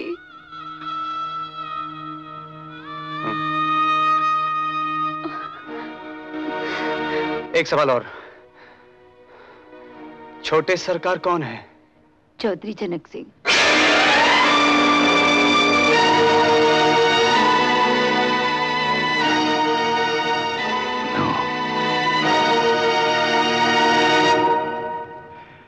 और ये कन्या जिसके बारे में प्रश्न पूछा गया है उसका नाम च से शुरू होता है। चंद्रमुखी। पूछने वालों के नाम म से और स से होंगे। मोहन इनमें माँ नाम वाला पिछले जन्म में स का भाई था। प्रश्न पूछते समय जय नाम की कन्या महाकष्ट में होगी क्योंकि ये वही आत्मा फिर जन्म लेकर आई है जिसका पिछले जन्म में प से नाम था। पारो। पिछले जन्म में इसकी हत्या की गई थी। इसलिए इस जन्म में ये तब तक तड़पती रहेगी जब तक इसकी हत्या करने वाले को दंड नहीं दिलाया जाता। सजा। पुजारी इसकी हत्या का दंड वही दिलवाएगा जो पिछले जन्म में इससे प्रेम करता था। और जिसका इस जन्म में नाम माँ से शुरू होता है मोहन। और जो न्याय से संबंध रखता है। वकील है। मैं सजा किसे दिलाऊँगा? कुदरत आपके ज़रिए सजा देगी। लेकिन ये सजा देनी किसको है? पारो की जान किसने ली? आगे पढ़ता हूँ। अब इस बात का वर्णन किया जाता है कि उसकी हत्या किसने की। पन्ना फटा हुआ है। हाँ? तो कैसे पता चलेगा? मैं सिर्फ़ भृगु महाराज की कही बातें पढ़कर सुना सकता हूँ। इसके आगे कुछ नहीं बता सकता।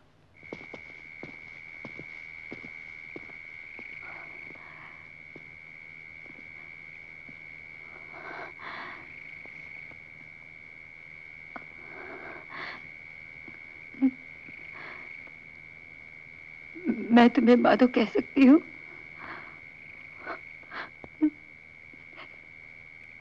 एक बार, माधो, मेरे भैया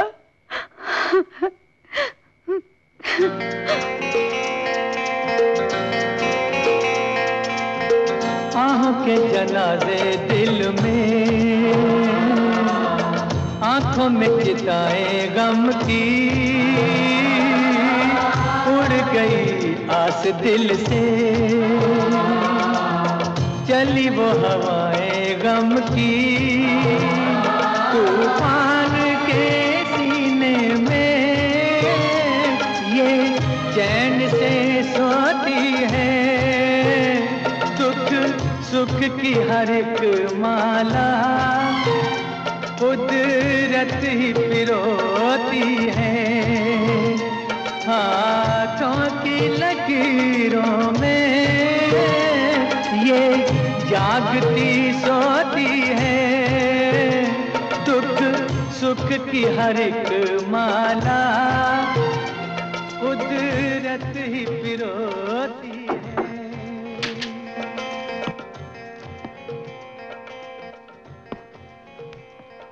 अब नमस्कार करना भी भूल गए।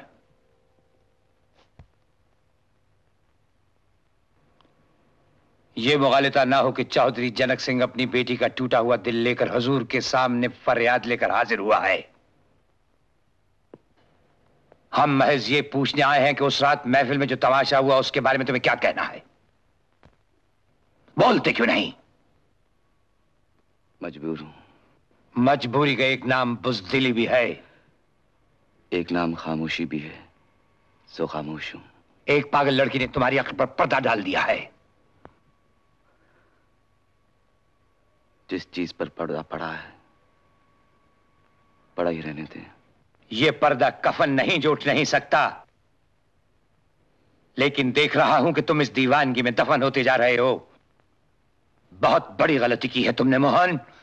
जब सीधे रास्ते पर आ जाओगे तो वो रास्ता सीधा तुम्हें हमारे दर पर लाकर खड़ा कर देगा। मगर इस वक्त मेरा रास्ता सीधा इस घर से बाहर जाता है। किसी चीज़ की ज़रूरत हो तो लेते जाना। यहाँ कभी इनकार नहीं होता।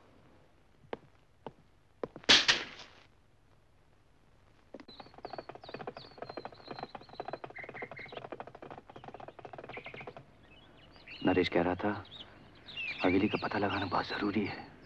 आप तुम मिल गए हो। हवेली से क्या मतलब? याद करो। कुछ याद नहीं।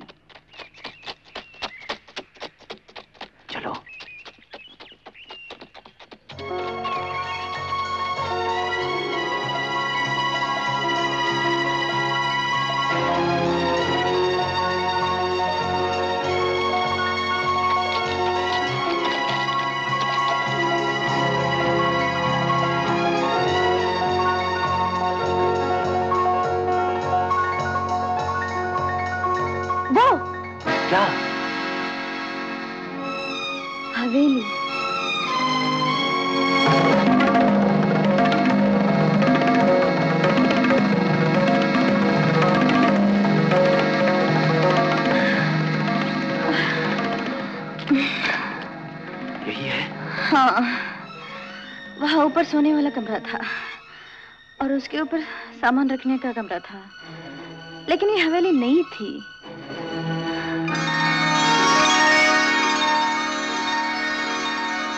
बाबा उधर बैठा करते थे।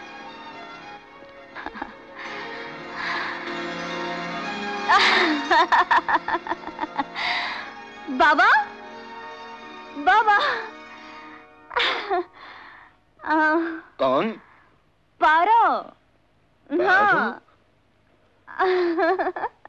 पारो बाबा। बिटिया पारो हमको मालूम से तू आएगी। तू ज़रूर आएगी। तू आई गई बिटिया। लोग लोग झूठ बोलते थे कि हमारी बेटी मरी गई। नहीं। बिटिया हमको विश्वास था तू आएगी। तू ज़रूर आएगी। बाबा तुम्हारी पारो आ गए नरेश! साहब तो मरीज़ देख रहे हैं अंदर। क्या बात है कुछ समझ में नहीं आती।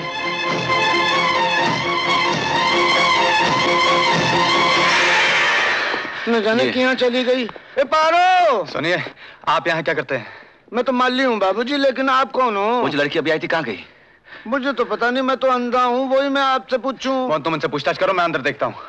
पारू तुम्हारी क्या चंद्रमुखी! मेरी बिटिया है बाबूजी। चंद्रमुखी?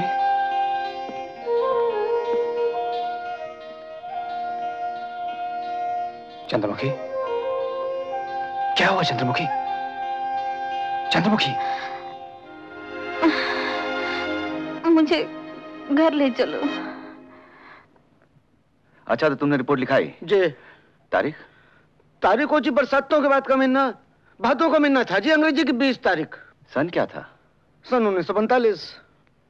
उन्नीस सौ पैंतालीस नरेश तुम चंद्रमुखी को घर लेके चलो मैं अभी आता हूँ। बाबूजी। साहब आपको किससे भी मिला साहब? जैन जनाब। मुझे 1945 का रजिस्टर चाहिए फ़ौरन। मैं बहुत जल्दी में हूँ। जी जनाब। हवालदार? जनाब। अंदर से जल्दी रजिस्टर निकालो। फ़ौरन।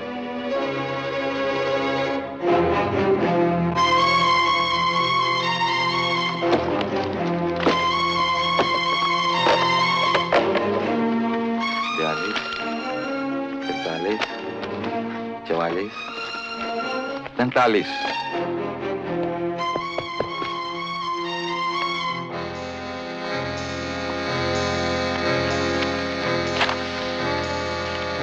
मार्च जुलाई सफे फटे हुए लगते हैं जनाब। अगस्त दस अगस्त बारह बीस बीस अगस्त। ये वही रिपोर्ट है जो मुझे चाहिए थी। यही है। लेकिन हमने लिखाई है कि पारो गायब है। तलाश जारी है। तलाश जारी है तहकीकात जारी है। तलाश बंद कर दी गई। तहकीकात भी बंद कर दी गई। कोई वजह नहीं दी गई। दस्तखत जगतराम। जगतराम कहाँ मिल सकता है? चपड़ासी अंग्रेज़ों के जमाने का है जनाब। इसे मालूम होगा शायद। बोला राम अतर आ जा। तुम्हें याद है सन 45 में जगतराम यहाँ काम करता था? जी हाँ मुझे याद आया। वो बहुत शराब पीने लग गया था जी। ड्यूटी पर भी नशा करके आता था। सरकार ने उसे निकाल दिया। कहाँ मिलेगा वो? बड़े गाँव का रहने वाला था। शायद वहीं में। मैं आपकी कुछ मदद कर सकता हूँ जनाब? आप बता सकते हैं जगतराम का घर कौन सा है? वो जो पुलिस में हुआ करता था। वो जगतू जगतू। आओ जी मेरे साथ आओ।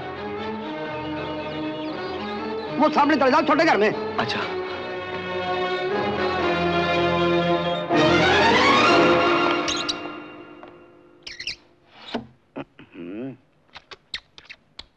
तुम जगतराम हो। जगतराम ये है।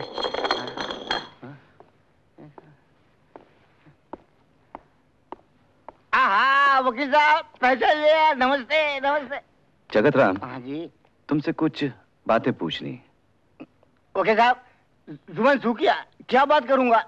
आ- आप आप कुछ पियेंगे? नहीं नहीं। नहीं तो मुझे पिलाइए। एक ही बात है दुकान बाहर है सामने ही है। जल्दी आएगा। वकील साहब बहुत अच्छे आदमी है। दो तीन बोतल लाएँगे दो बोतल पीऊँगा बातें करूँगा। दो बोतल देना। कौन सी? कोई भी। छोटा ले जाओ।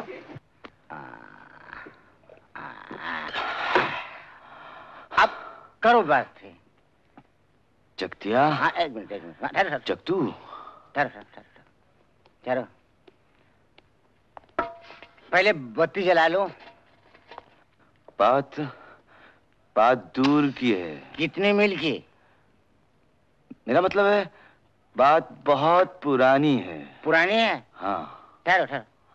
ठहरो अभी अभी सुनता हूँ। क्यों? हाँ। जब मैं पीता हूँ सारी पुरानी बातें मेरे सारे हाजिर हो जाती है। जब मैं पीता हूँ हाँ। तो मेरे सामने पिछला जन्म हाजिर हो जाता है। अरे तू तो मेरा भी गुरु निकला है। पियो पियो पियो पियो पियो पियो। पिछला जन्म सामने हाजिर हुआ। हाँ। हाँ। हाँ। मैं माधो हूँ। हाँ, माधो। हाँ। अरे अरे तू माधव है? माधो। हाँ? तू माधव है? माधो? कौन है यार? अबे ठहर।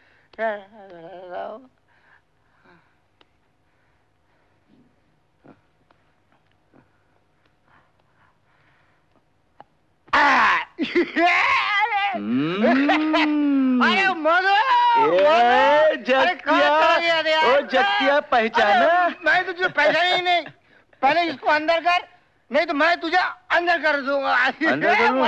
ले।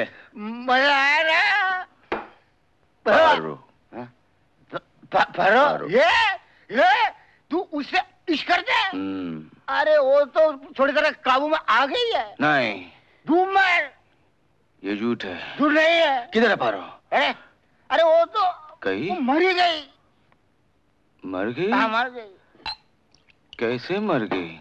अरे अरे तुझे तो मार दिया गया है। किसने मार दिया? किसने मारा? उसने। किसने? छोटे सरकार ने। छोटे सरकार ने?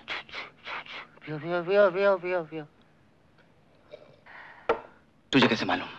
तुझे कैसे मालूम? अम्मी को मालूम है। सबूत। सबूत भी है। हमको झूठ नहीं बोलते। सबूत। भी है। सबूत है तो बोलना अभी फिर बता दो। हाँ। अभी बता दो। अभी बता बोलना। अभी बता दो। पकड़ना गिर हूँ। पुलिस की तहकीकात क्यों बंद कर दी? हूँ। रिश्वत ली थी? हूँ। किधर गया ली थी? अरे ली थी। किधर गया? हवेली से क्या मिला हाँ? क्या मिला हवेली जल्दी बता दो जल्दी बता दो। ये ये ये। आ, ये। ये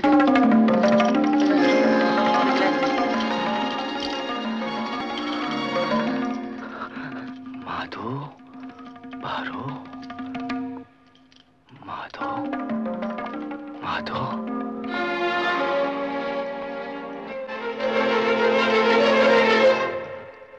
अगर सबूत मिल चुका है और पारो का खून चौधरी जनक सिंह ने किया है तो तुम्हें उस पर कत्ल का मुकदमा दायर करना पड़ेगा। मुझसे नहीं होगा। ये तुम्हारा फ़र्ज़ बनता है। मैं जानता हूँ मेरा क्या फ़र्ज़ बनता है और मैं ये भी जानता हूँ कि मुकदमा दायर करना चाहिए लेकिन मुझसे नहीं होगा। कत्ल की सजा नहीं मिलनी चाहिए। मेरी ज़िंदगी उनके एहसानों से लदी पड़ी है। उन्होंने मुझे पाला पढ़ाया वकील बनाया सरकारी वकील बनवाया। वो अपनी बेटी दे रहे थे मुझे। मैं उसे अपना ना सका। ऐसे इंसान पर मुकदमा कर दूँ। तुम सरकारी वकील हो। लेकिन इंसान भी हूँ। एक दिल है सीने में।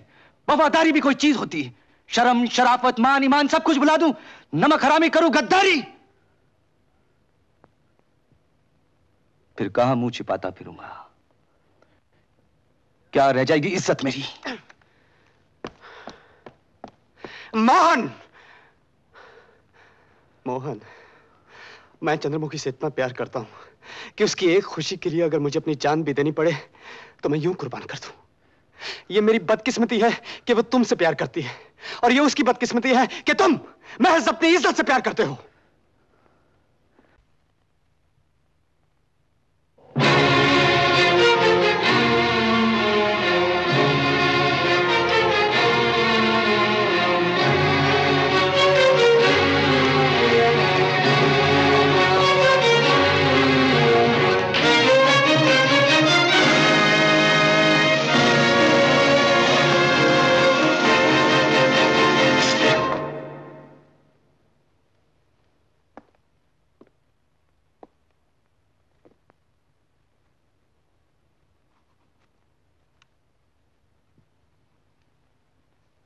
आओ बरखुरदार अच्छा किया तुम लौट आए। अरे, जवानी में किससे गलती नहीं होती मियाँ? अरे, तुमसे हो गई तो कौन सी कयामत आ गई?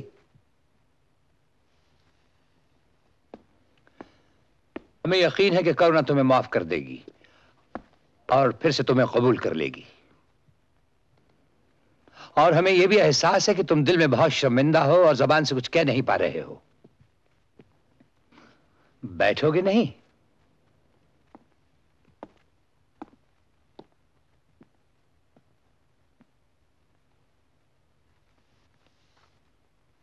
जीते रहो। मैं आज जो कुछ भी हूँ, आपकी बदौलत हूँ। एहसानमंद हूँ। इसलिए आपके चरण छुए हम जानते हैं कि तुम एहसान फरामोश नहीं हो। तुमने जो कुछ भी किया, ये समझो, हम उसे भूल चुके जो तीस बरस पहले हुआ, वो भी भूल चुके हैं।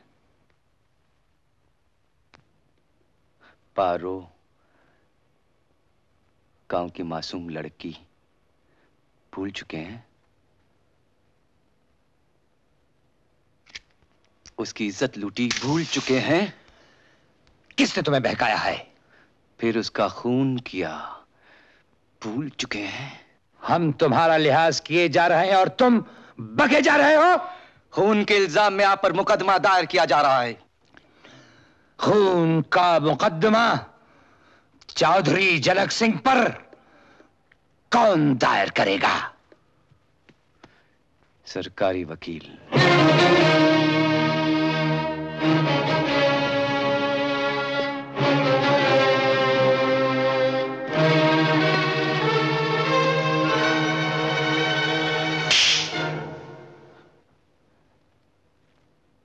एहसान नहीं भूल सकता। अपमान भी नहीं भूलूँगा।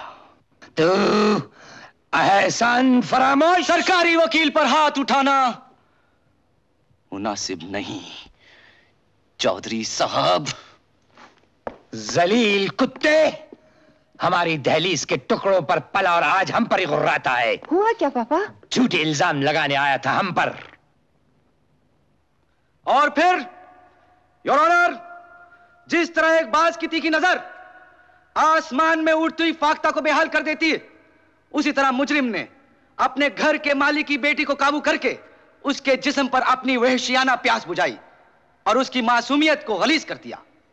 और फिर जब गरीब पारों को हमल हो गया तो मुजरिम ने जो उस वक्त जवानी के जोश जुनून में डूबा हुआ था, एक अमीर बाप के बिगड़े हुए बेटे ने एक जुर्म छुपाने के लिए दूसरा जुर्म कर डाला।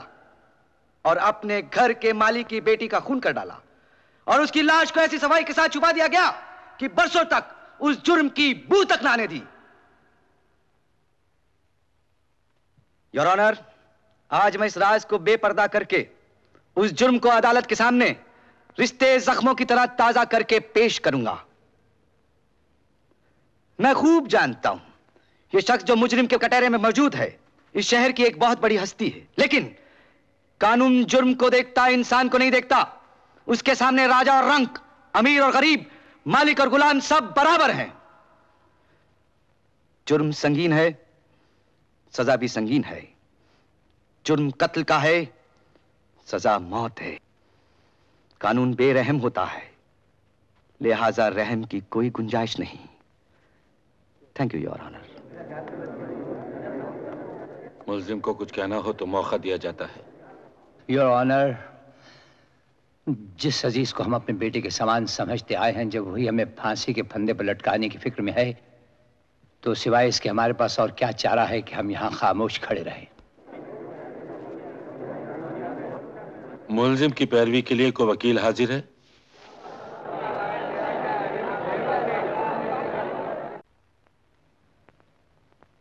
माँ पापा को बाइज्जत घर वापस लाऊँगी। कसम खाती हूँ।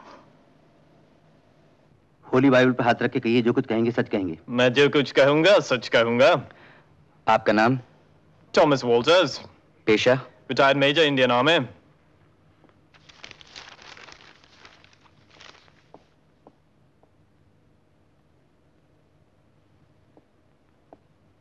major Tom Walters आप इस तस्वीर को पहचानते हैं? जी ये तस्वीर मैंने बनाई थी अब तीस पैंतीस बरस हो गए। किसकी? है मेरा एक रिक्शा कूली था उसका नाम माधव। माय गॉड मेरे सवाल का जवाब दीजिए किसकी है? आ, अब उसकी एक मंगेतर थी ये उसकी तस्वीर है। नाम याद है आपको? जी उसका नाम पारो था। मुझे कोई और सवाल नहीं पूछना। आप पूछना चाहें तो पूछ सकती मुझे इनसे कुछ नहीं पूछना योर ऑनर ताज्जुब है कुछ पूछा ही नहीं। हैरत की बात है। मैं भी हैरान हूँ। क्रॉस एग्जामिनेशन तो होना चाहिए। हम्म, इस तस्वीर में जो हार है इसे पहचानती। ये हार मेरे भाई माधो ने पारो को दिया था।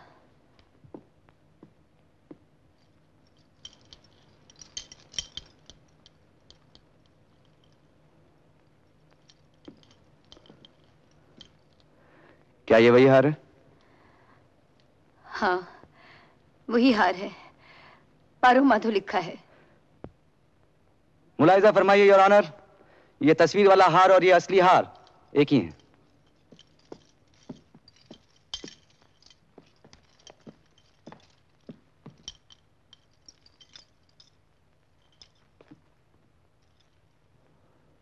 हूबहू वही है। मुझे आगे इनसे कुछ नहीं पूछना। गवाह आपके हवाले। नो क्वेश्चंस दूसरा गवाह भी खाली गया। तो समझो चौधरी जनक सिंह भी गया। बेड़ा गर्क। जब आखिरी बार तुमने अपनी बेटी को देखा तो उस वक्त वो क्या कर रही थी? वो कोठी के अंदर गई थी जी। कोठी के अंदर और कौन था उस वक्त?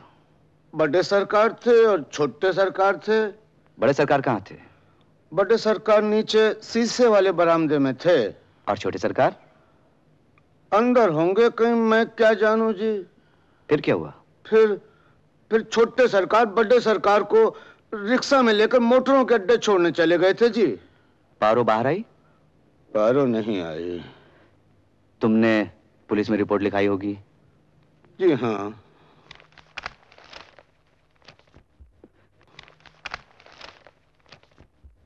योर ऑनर यह है पुलिस स्टेशन की कंप्लेंट बुक। सन 1945 जब सब कुछ उर्दू में लिखा जाता था 20 अगस्त को कंप्लेंट लिखाई गई। काफ़ी दिनों तक तो यह दर्ज किया जाता रहा कि तहकीकात जारी है। यकायक तहकीकात बंद कर दी गई।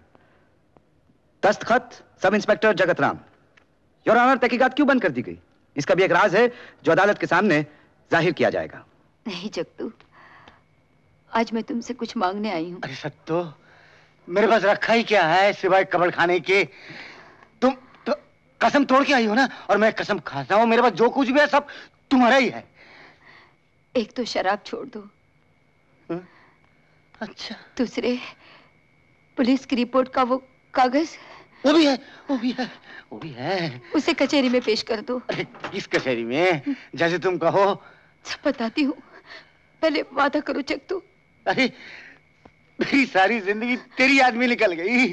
और क्या चाहती हो बोलो? और क्या चाहती हो? मैं मैं तुम्हारे एहसान कभी नहीं भूलूँगी जगतू कभी नहीं। ये वो रिपोर्ट है जो हवेली की तलाशी के बाद मैंने लिखी थी। इसमें छोटे सरकार के दस्तखत है। इसे मैंने रिपोर्ट बुक से फाड़ के अपने पास रख लिया था।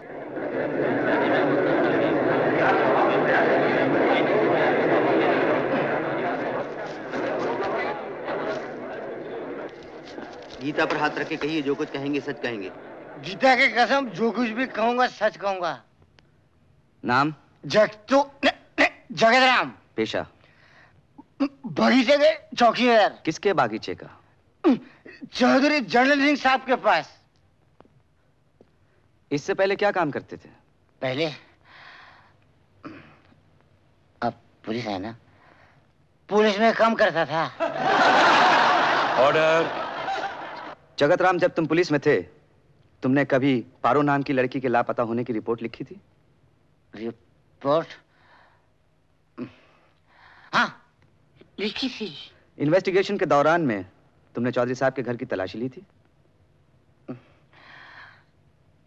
ली थी। क्या मिला? एक हार। क्या ये वही हार है? हाँ हाँ है है है है, है। पुलिस की डेली रिपोर्ट से मालूम होता है कि पारो के लापता होने की इन्वेस्टिगेशन तुमने अचानक बंद कर दी। ऐसा क्यों किया तुमने जगत राम तहकीकात क्यों बंद कर दी? योर ऑनर गवाह शराब के नशे में है। मैं माफ़ी चाहता हूँ। मेरी अदालत से दरख्वास्त है कि इसे कल फिर बुलाया जाए क्योंकि यह हमारा सबसे अहम और ज़रूरी गवाह है। और इसके होश और हवास की मैं पूरी ज़िम्मेदारी लेता हूँ। योर ऑनर मुझे गवाह से कुछ पूछने का मौका दिया जाए। लेकिन गवाह नशे में है। मुझे शक है ये शख्स बहाने कर रहा है।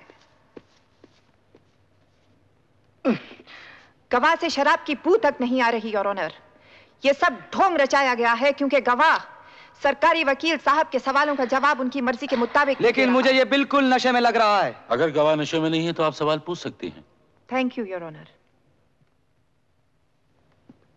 जगत राम सुन रहे हो जगत राम तुम पुलिस से निकाले गए थे? छोटी बीवी। किस लिए निकाले गए थे? क्या बोलूँ? नशा। शराब के नशे में रहते थे इसलिए। ठीक से बात करो तुम शराब के नशे में नहीं हो जगत राम आज मैं शराब नहीं पी। घर पे आया हूँ।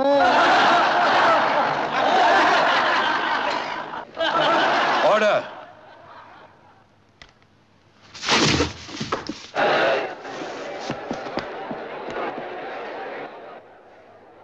नब्ज बंद हो चुकी है जनाब।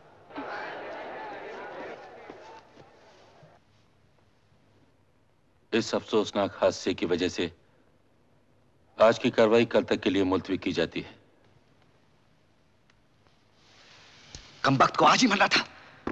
मुकदमे का सारा नक्शा ही बदल गया है। उस चिट्ठी में क्या लिखा है जो आपके हाथ में दे गया? कोर्ट में आने का वादा किया था आ गया हूँ। लेकिन जिसका नमक खाया है उसे नमक हरामी कैसे करूँ? वादा किया था नहीं पीऊँगा। आज नहीं पी। तुम्हें आखिरी बार देखने आया हूँ। सबूत फाड़ दिया है। माफ़ करना सत्तू योर ऑनर कल सरकारी गवाह जगत राम की मौत की वजह से उसकी गवाही मुकम्मल ना हो सकी। लिहाजा मेरी अदालत से दरख्वास्त है कि कुछ और सबूत और गवाह इकट्ठा करने के लिए मोहलत दी जाए। योर ऑनर पेशतर इसके कि सरकारी वकील साहब को और वक्त मिले। मुझे अपने गवाह पेश करने का मौका दिया जाए। आपके गवाह हाजिर हैं? बिल्कुल हाजिर हैं योर ऑनर पेश कीजिए। हमारा पहला गवाह श्री मोहन कपूर। यानी सरकारी वकील? यस योर ऑनर यह हरगिज नहीं हो सकता योर ऑनर ये बड़ी अजीब और गरीब दरखास्त है। लेकिन कानून के खिलाफ नहीं। मुझे इनकी इस हरकत पर सख्त एतराज़ है। अदालत जानना चाहेगी मुकदमे की पैरवी के लिए क्या ये लाजमी है? निहायत लाजमी है योर ऑनर यकीन दिलाती हूँ। अदालत की सरकारी वकील को हिदायत है कि वह गवाह के कटारे में पेश हो जाएँ।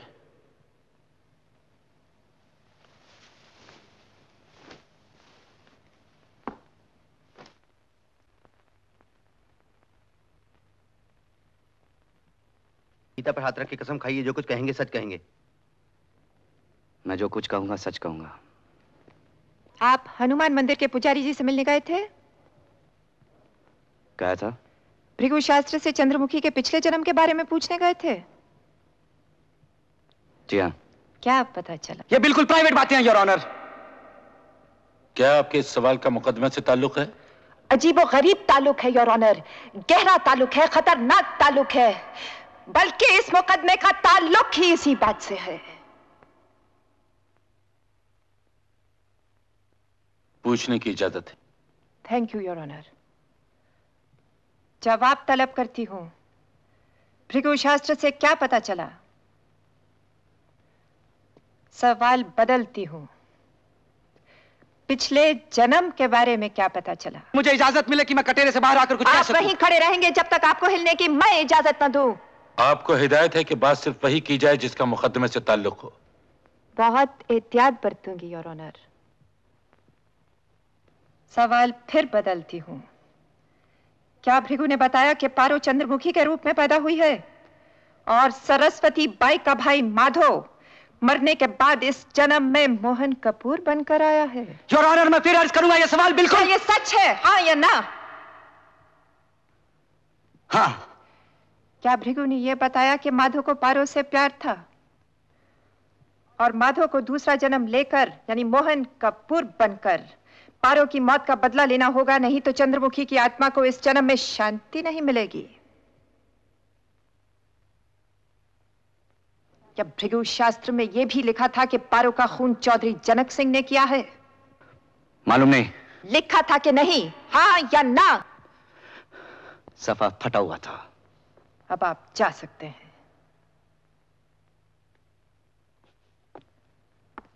तो ये नक्शा है योर ऑनर ये मुकदमा पिछले जन्म की बिना पे दायर किया गया है। और इसे यहीं पर खारिज कर दिया जाए क्योंकि कानून में कहीं नहीं लिखा कि दूसरा जन्म होता है। कानून में यह भी नहीं लिखा कि दूसरा जन्म नहीं होता है। कानून इस मसले पे खामोश है। खामोशी को इनकार नहीं माना जा सकता। मसला बेहद पेचीदा है। याद दिलाता हूँ योर ऑनर इस अदालत में मुझे गीता की कसम दिलवाई गई। और जो इंसान गीता की कसम खाता है, वो दूसरे जन्म की कसम खाता है, क्योंकि गीता में भगवान ने कहा है कि जिस तरह इंसान पुराने कपड़े फेंक कर नए कपड़े पहन लेता है, उसी तरह आत्मा भी पुराने जिस्म को छोड़कर नया जिस्म धारण कर लेती है। अगर अदालत गीता की कसम कबूल करती है तो अदालत दूसरा जन्म भी कबूल करती है। लेकिन, योर ऑनर, बहस दूसरे जन्म पर तो हो नहीं रही। बहस तो इस बात पर है कि क्या ये मुकदमा पिछले जन्म की बिना पर चलेगा कि आज के कानून के मुताबिक क्या तीस बरस की मरी हुई पारो का मुर्दा इस अदालत में आकर गवाही देगा कि उसको किसने मारा? मुर्दा क्यों आएगा योर ऑनर जबकि उसकी आत्मा का संदेश हम तक पहुँच चुका है। चंद्रमुखी के रूप में? हाँ। तो योर ऑनर चंद्रमुखी को गवाही के लिए पेश किया जाए। नहीं योर ऑनर चंद्रमुखी इस हालत में नहीं है अदालत में पेश की जा सके। क्या उसे बुखार है? नहीं। क्या वो अपाहज है? नहीं। क्या वो इतनी नाजुक है कि अदालत की हवा उसे मुआफिक नहीं आएगी? नहीं। तो वो क्यों नहीं आ सकते? नहीं नहीं योर ऑनर डॉक्टर के मुताबिक उसकी दिमागी हालत नाजुक है। यही तो साबित करने के लिए मैं उसे यहाँ बुलाना चाहती हूँ योर ऑनर मैं चंद्रमुखी की गवाही निहायत लाजमी समझती हूँ। अगर चंद्रमुखी के ज़रिए कोई राज ज़ाहिर होता है तो उसके नाम समन जारी किए जाएँ। मैंने कहा था कहा था कहा था चंद्रमुखी को कोर्ट में पेश मत करना। बात मेरे बस में नहीं थी। तुम खूब जानते हो चंद्रमुखी की हालत ठीक नहीं।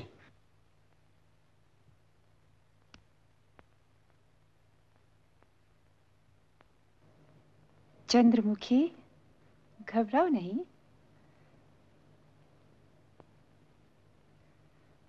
सुना है तुम्हें पिछले जन्म की बातें याद आती हैं। क्या ये सच है चंद्रमुखी? कभी याद आती हैं कभी नहीं आती। इस वजह से कभी ऐसा भी हुआ है कि यूँ ही कोई समझ बैठा हो कि तुम पागल हो रही हो। मम्मी डैडी ऐसे समझते हैं। चंद्रमुखी तुम्हें मालूम है कि शिमले के पास वाले जंगल में एक बहुत बड़ा पेड़ है जिसपे पारो माधो के नाम खुदे हुए हैं। हाँ। और वो प्रेमी थे। हाँ। और आजकल के भी प्रेमी वहीं जाकर ये प्रार्थना करते हैं कि उनका प्यार पारो माधो जैसा हो। हाँ। और कई तो ये भी सोचने लगते हैं कि वो पारो माधो ही थे। हाँ। तुम मोहन साहब के साथ उस जंगल में गई थी? हाँ। और क्योंकि तुम मोहन से प्यार करती हो तुम प्रेम के जोश में ये समझ बैठी कि तुम पारो हो और वो माधो है। मुझे विश्वास है कि मैं पारो थी। डॉक्टर नरेश तुम्हारा इलाज कर रहे हैं? हाँ। किस बीमारी का इलाज कर रहे हैं? वो समझते हैं? मेरे दिमाग में कुछ खलल है। तुम्हें किस ढंग से मारा गया? मुझे? यानी पारो को। कुल्हाड़ी से सर फोड़ा गया सीने में गोली मारी गई पेट में छुरा फूंका गया। ऑब्जेक्शन योर ऑनर मुझे नहीं मालूम। तुम्हें मालूम है कि एक इंसान को इनको फांसी के तख्ते पर लटकाने की कोशिश की जा रही है और वो महज तुम्हारी वजह से। मेरी वजह से? मोहन साहब ने इन पे कत्ल का इल्ज़ाम लगाया है तुम्हें मालूम नहीं? मुझे नहीं मालूम। सारी दुनिया को मालूम है तुम्हें मालूम नहीं। योर ऑनर सच्चाई को टेढ़े रूप में पेश किया जा रहा है। मुझे नहीं मालूम। योर ऑनर इनसे कहिए इनको सवाल पूछने का बाद में मौका दिया जाएगा? इस वक्त खामोश रहे। आपको मौका दिया जाएगा। सवाल जारी रखिए।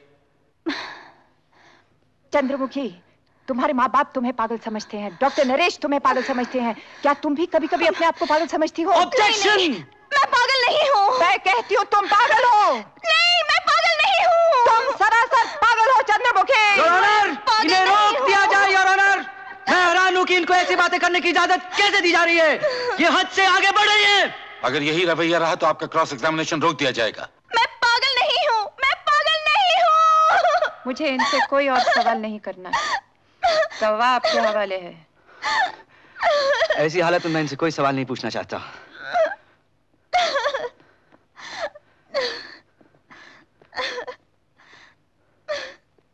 डॉक्टर नरेश ने आगाह किया था कि अगर हम इन्हें अदालत में पेश करेंगे तो इनके दिमाग को धक्का पहुँचने का खतरा है। योर ऑनर डॉक्टर नरेश को पेश किया जाए।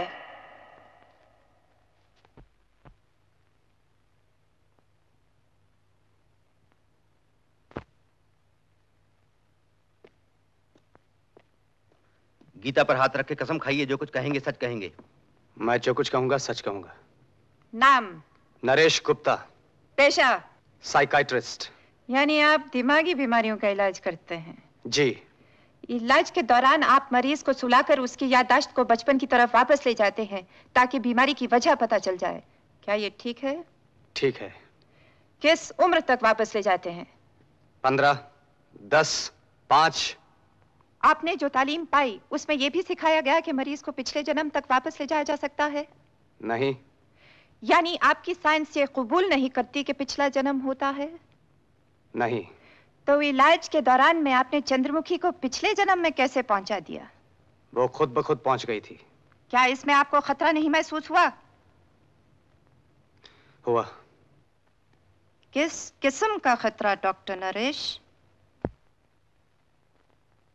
कि शायद मैं उसे वापस न ला सकूँ। और वापस ना ला सकते तो क्या होता? वो पागल हो सकती थी। उसके बाद आप फिर कभी उसे पिछले जन्म में ले गए? हाँ। ये जानते हुए कि आपको इस बात का ना तजुर्बा है ना हक है ना आपकी साइंस आपको इजाज़त देती है ना कानून। हाँ। और ये जानते हुए कि शायद चंद्रमुखी पागल हो जाए। हाँ। यानी आप बड़ी ना समझी से पेश आए। आपने जानबूझकर मरीज़ को खतरे में डाला। आप जैसे डॉक्टर को डॉक्टरी का पेशा करने की इजाज़त नहीं होनी चाहिए और आप अपने सवाल मुकदमे की हद तक रखिए। यह आपको आखिरी चेतावनी है। बहुत अदब से माफ़ी मांगती हूँ योर ऑनर। ऐसी गुस्ताखी फिर न होगी। आखिरी सवाल। क्या ये मुमकिन नहीं कि चंद्रमुखी पिछले जन्म की हालत में जो कुछ भी कहती रही वो महज एक दिमागी खलल का नतीजा हो? मुमकिन है लेकिन मैं लेकिन मुमकिन तो है। हाँ मुमकिन है। मुझे आपसे और कुछ नहीं पूछना आप जा सकते हैं।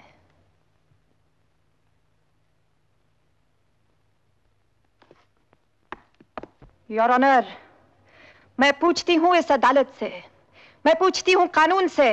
मैं पूछती हूँ दुनिया के कानून बनाने वालों से। क्या ऐसी लड़की की बड़बड़ाहट पे एतबार किया जा सकता है जिसकी दिमागी हालत नाजुक हो? क्या ऐसे डॉक्टर पे एतबार किया जा सकता है जो जान पूछकर मरीज़ को खतरे में डाल रहा हो? क्या ऐसे शराबी पुलिस इंस्पेक्टर पे एतबार किया जा सकता है जो पुलिस से निकाला जा चुका हो और जिसकी समझ में ये बात नहीं आई कि पारो तो घर की नौकरानी थी। वो एक हार क्या किसी भी कमरे में कुछ भी भूल सकती थी। योर ऑनर, ये मुकदमा इंसानियत, सभ्यता और नेक नामी के कत्ल का मुकदमा है। ये मुकदमा कानून की तौहीन है। ऐसा बेहंगम मुकदमा किसी अदालत में कभी भी पेश नहीं हुआ होगा। लिहाजा मेरी अदालत से दरख्वास्त है कि इस मुकदमे को यहीं खारिज करके मुजरिम को बाइज्जत रिहा कर दिया जाए। थैंक यू योर ऑनर आज शनिवार है। कानून के मुताबिक जायज़ सबूत पेश करने के लिए आपको सोमवार तक की मोहलत दी जाती है, वरना मुकदमा खारिज कर दिया जाएगा।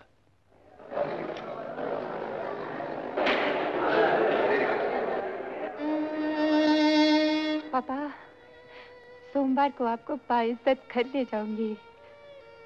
बहुत अकेली हूँ, पापा।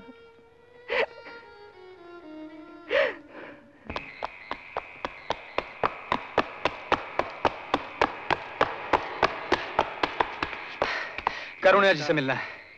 जी इस वक्त? हाँ हाँ ज़रूरी काम है उनसे को डॉक्टर नरेश आए। जाओ जल्दी।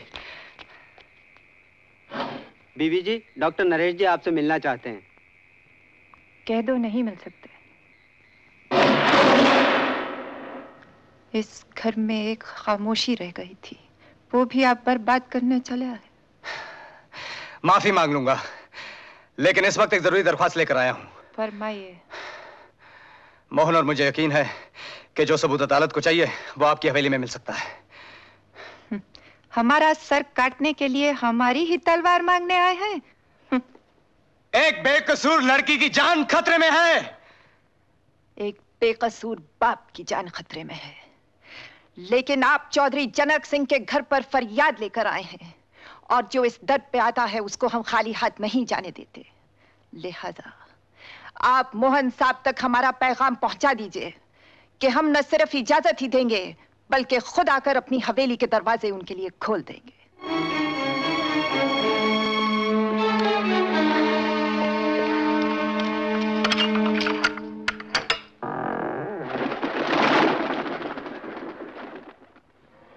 तशरीफ़ लाइए। शुक्रिया। हाँ अंदर चलो। शुक्रिया। आप जिस कमरे में भी जाना चाहें शौक से जा सकते हैं। इधर? ये ड्राइंग रूम हुआ करता था।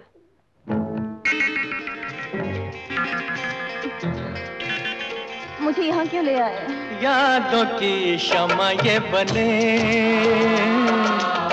भूले नजारों में कभी। आने वाले कल पे हंसे। खिलती बहारों में कभी।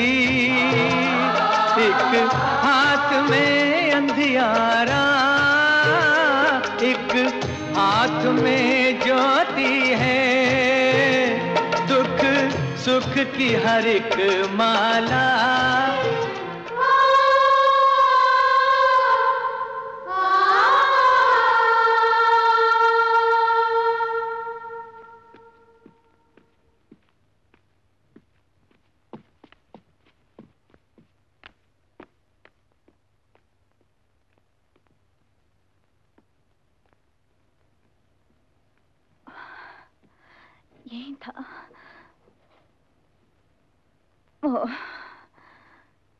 कहाँ गया? पारो। मैं अपना हार लेने आई थी। उस रात आसमान से अगर कोई देवता भी देख रहा होता जो कुछ मैंने देखा तो वो भी इस कमरे में उतर आता और वही होता जो कुछ हुआ। हम उम्र भर तुम्हारी देखभाल करेंगे और तुम जो चाहोगी वो देंगे। आप मुझे माधव वापस दे सकते हैं? हमें तुम्हारे दुख का पूरा एहसास है। लेकिन पारो अब मुझे कभी छूना नहीं छोटे सरकार। और अगर भगवान है और अगर कहीं न्याय है तो जैसे मुझसे माधव छीन लिया गया छोटे सरकार वैसे एक दिन आपकी सबसे प्यारी चीज़ आपसे कुदरत छीन लेगी। चलो बेटे। हम हमदर्दी से पेश आ रहे हैं और तुम बोले जा रहे हो। चुप करो। बड़े सरकार सुन लेंगे। देर हो रही है बेटे। मैं सारी दुनिया को चीख चीख कर सुनाऊँगी। अच्छा तो हम नीचे रिक्शा में इंतज़ार करते हैं।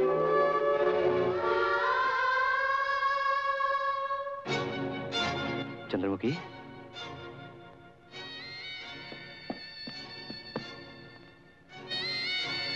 हाँ। हाँ। चंद्रमुखी चंद्रमुखी चंद्रमुखी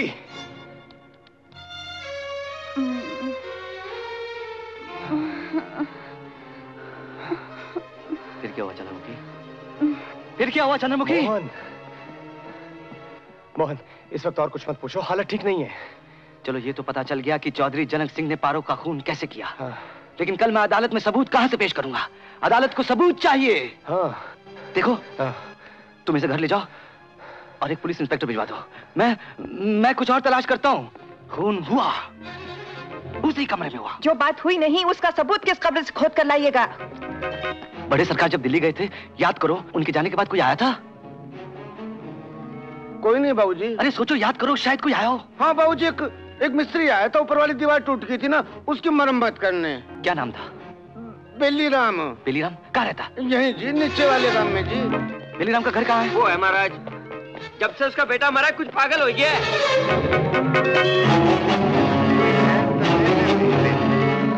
बेली राम तुम अफसोस करने आए हो। वो तो पिछले साल मर ही गया। बेली राम मुझे तुमसे कुछ काम है। अब तो कोई अफसोस करने नहीं आता। बेली राम सुनो तो मेरी बात तो सुनो। मेरी बात तो सुनो। आराम कर लो मुझे तुमसे कुछ पूछना है। अच्छा। तुम्हें हवेली याद है? छोटे सरकार तुम्हें वहाँ ले गए थे। ले गए होंगे। अब अब अब तंबाकू भी अच्छा नहीं मिलता। पानी पी लो। तीस साल हुए। सोचो तीस साल पहले बहुत काम करता था छोटे सरकार तुम्हें वहाँ ले गए थे। हवेली हवेली। हवेली? हाँ। अच्छा। मेरे साथ चलो।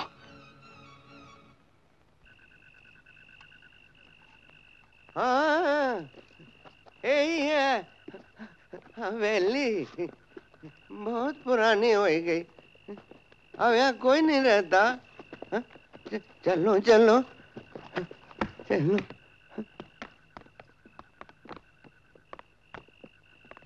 ये कौन है हाँ? कौन है ये?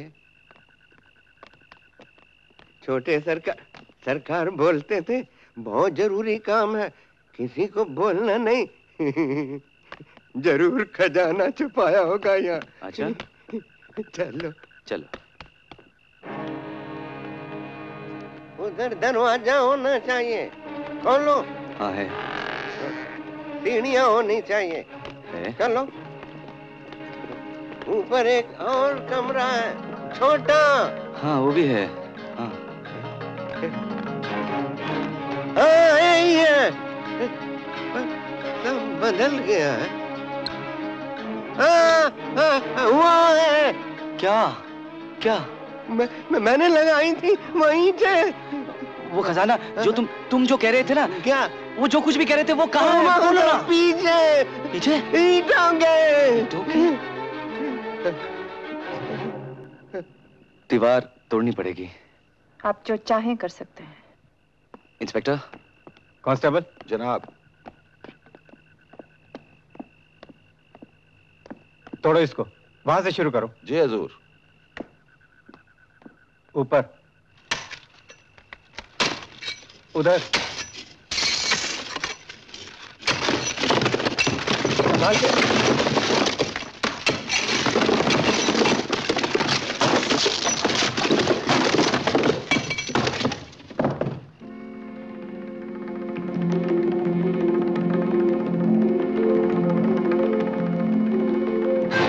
लकड़ी का बक्सा लगता है। हाँ साहब। निकालो इसे।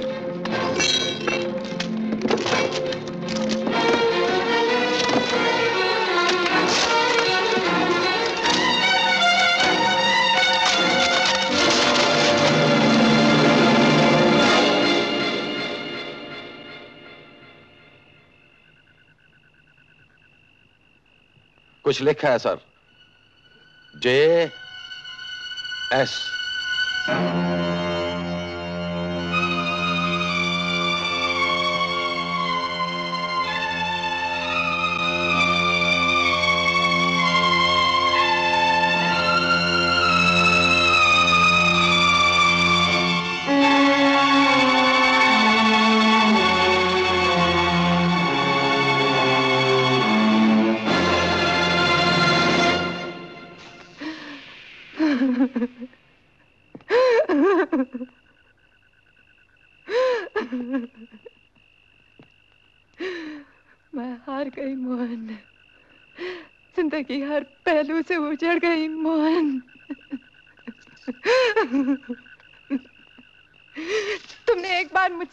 कहा कि अगर मुझे कभी तुम्हारी ज़रूरत पड़े तो मेरी मदद करोगे। कहा था ना मोहन? हाँ कहा था। तो आज मेरी मदद कर दो मोहन। मेरे पापा की ज़िंदगी तुम्हारे हाथ में है। मैं तुमसे उनकी जान की भीख मांगती हूँ मोहन।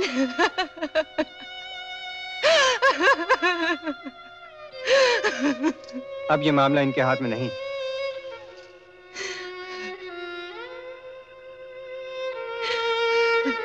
कानून के हाथ में है।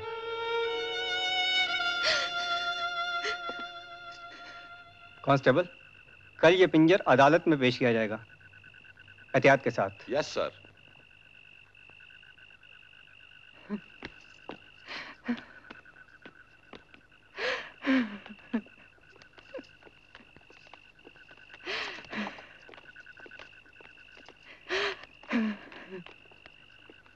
अब तो समझो चौधरी साहब गए।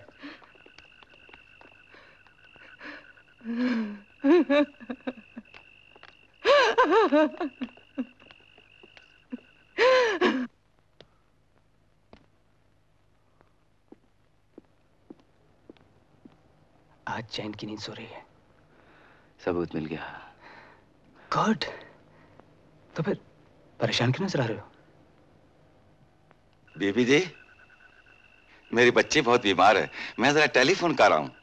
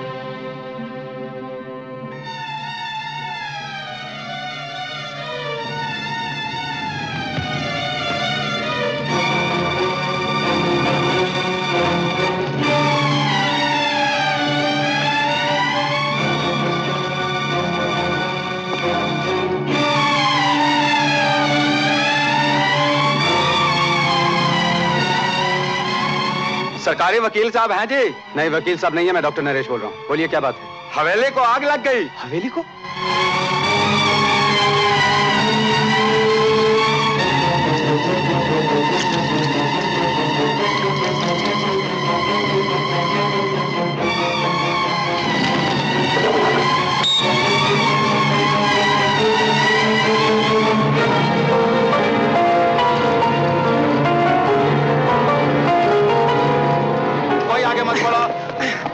साहब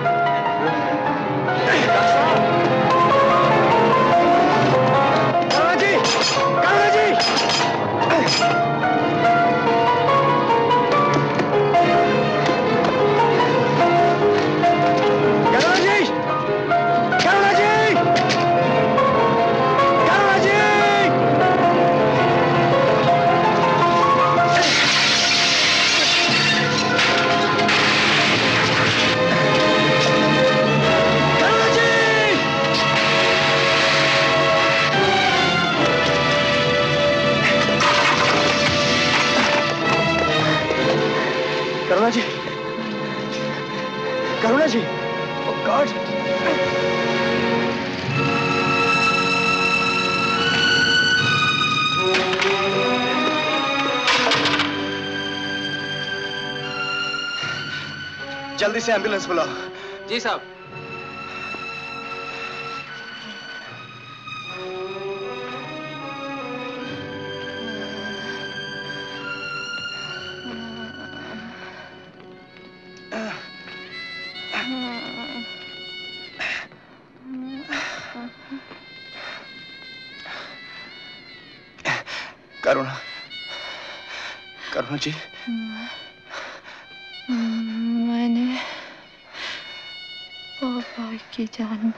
ली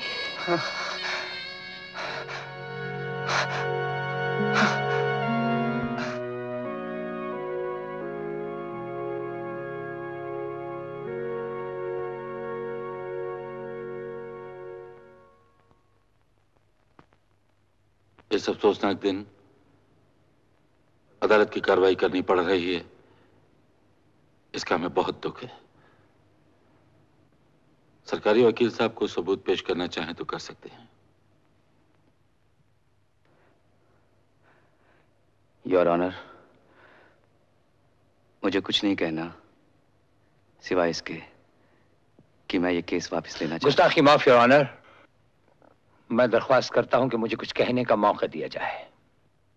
लेकिन अब कहने से क्या फ़ायदा जब केस वापस ही लिया जा रहा है? यही जानते हुए योर ऑनर मैं कुछ कहने की इजाज़त मांग रहा हूँ। इजाज़त दी जाती है। योर ऑनर इस अदालत के ऊपर एक और अदालत है, जिसका फैसला मेरी रूह की गहराइयों तक पहुँच चुका है। वहाँ सबूत नहीं मांगे जाते और सजा दी जाती है।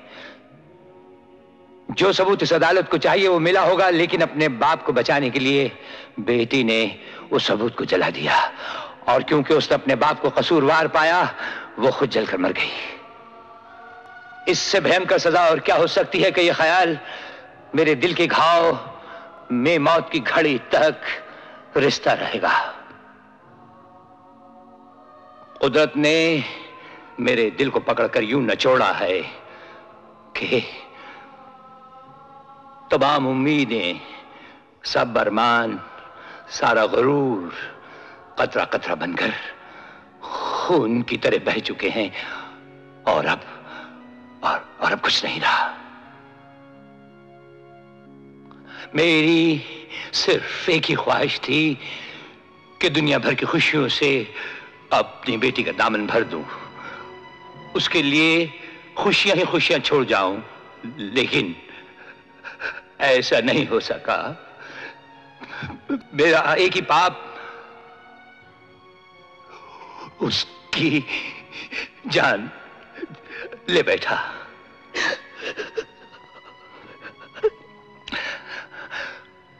उसकी ख्वाहिश थी कि मोहन की शादी चंद्रमुखी से हो जाए। मैं अपना सब कुछ मोहन के नाम करता हूँ और दुनिया भर के सामने अपने जुर्म को कबूल करते हुए उस अदालत के बाद इस अदालत से भी सजा की इल्तजा करता हूँ। ये इल्तजा कबूल फरमाई जाए। हर पहलू को मद्देनजर रखते हुए अदालत मुजरिम को उम्र कैद की सजा देती है।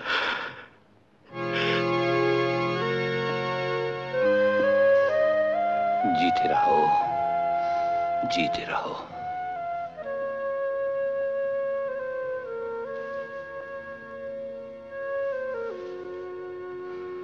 खुश रहो खुश रहो।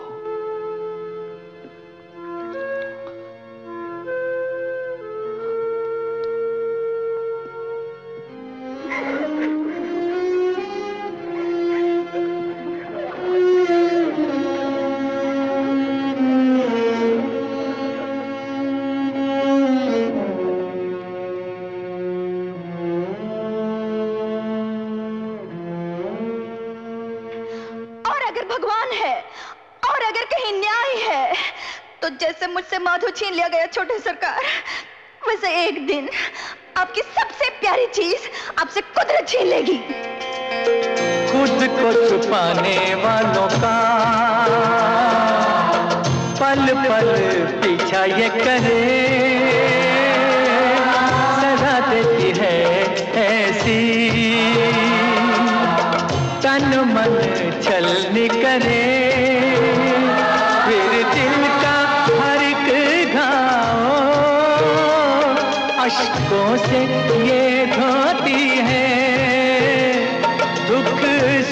की हर एक माला। कुदरत ही पिरोती है। हाथों की लकीरों में ये जागती सोती है। सुख सुख की हर एक माला। कुदरत ही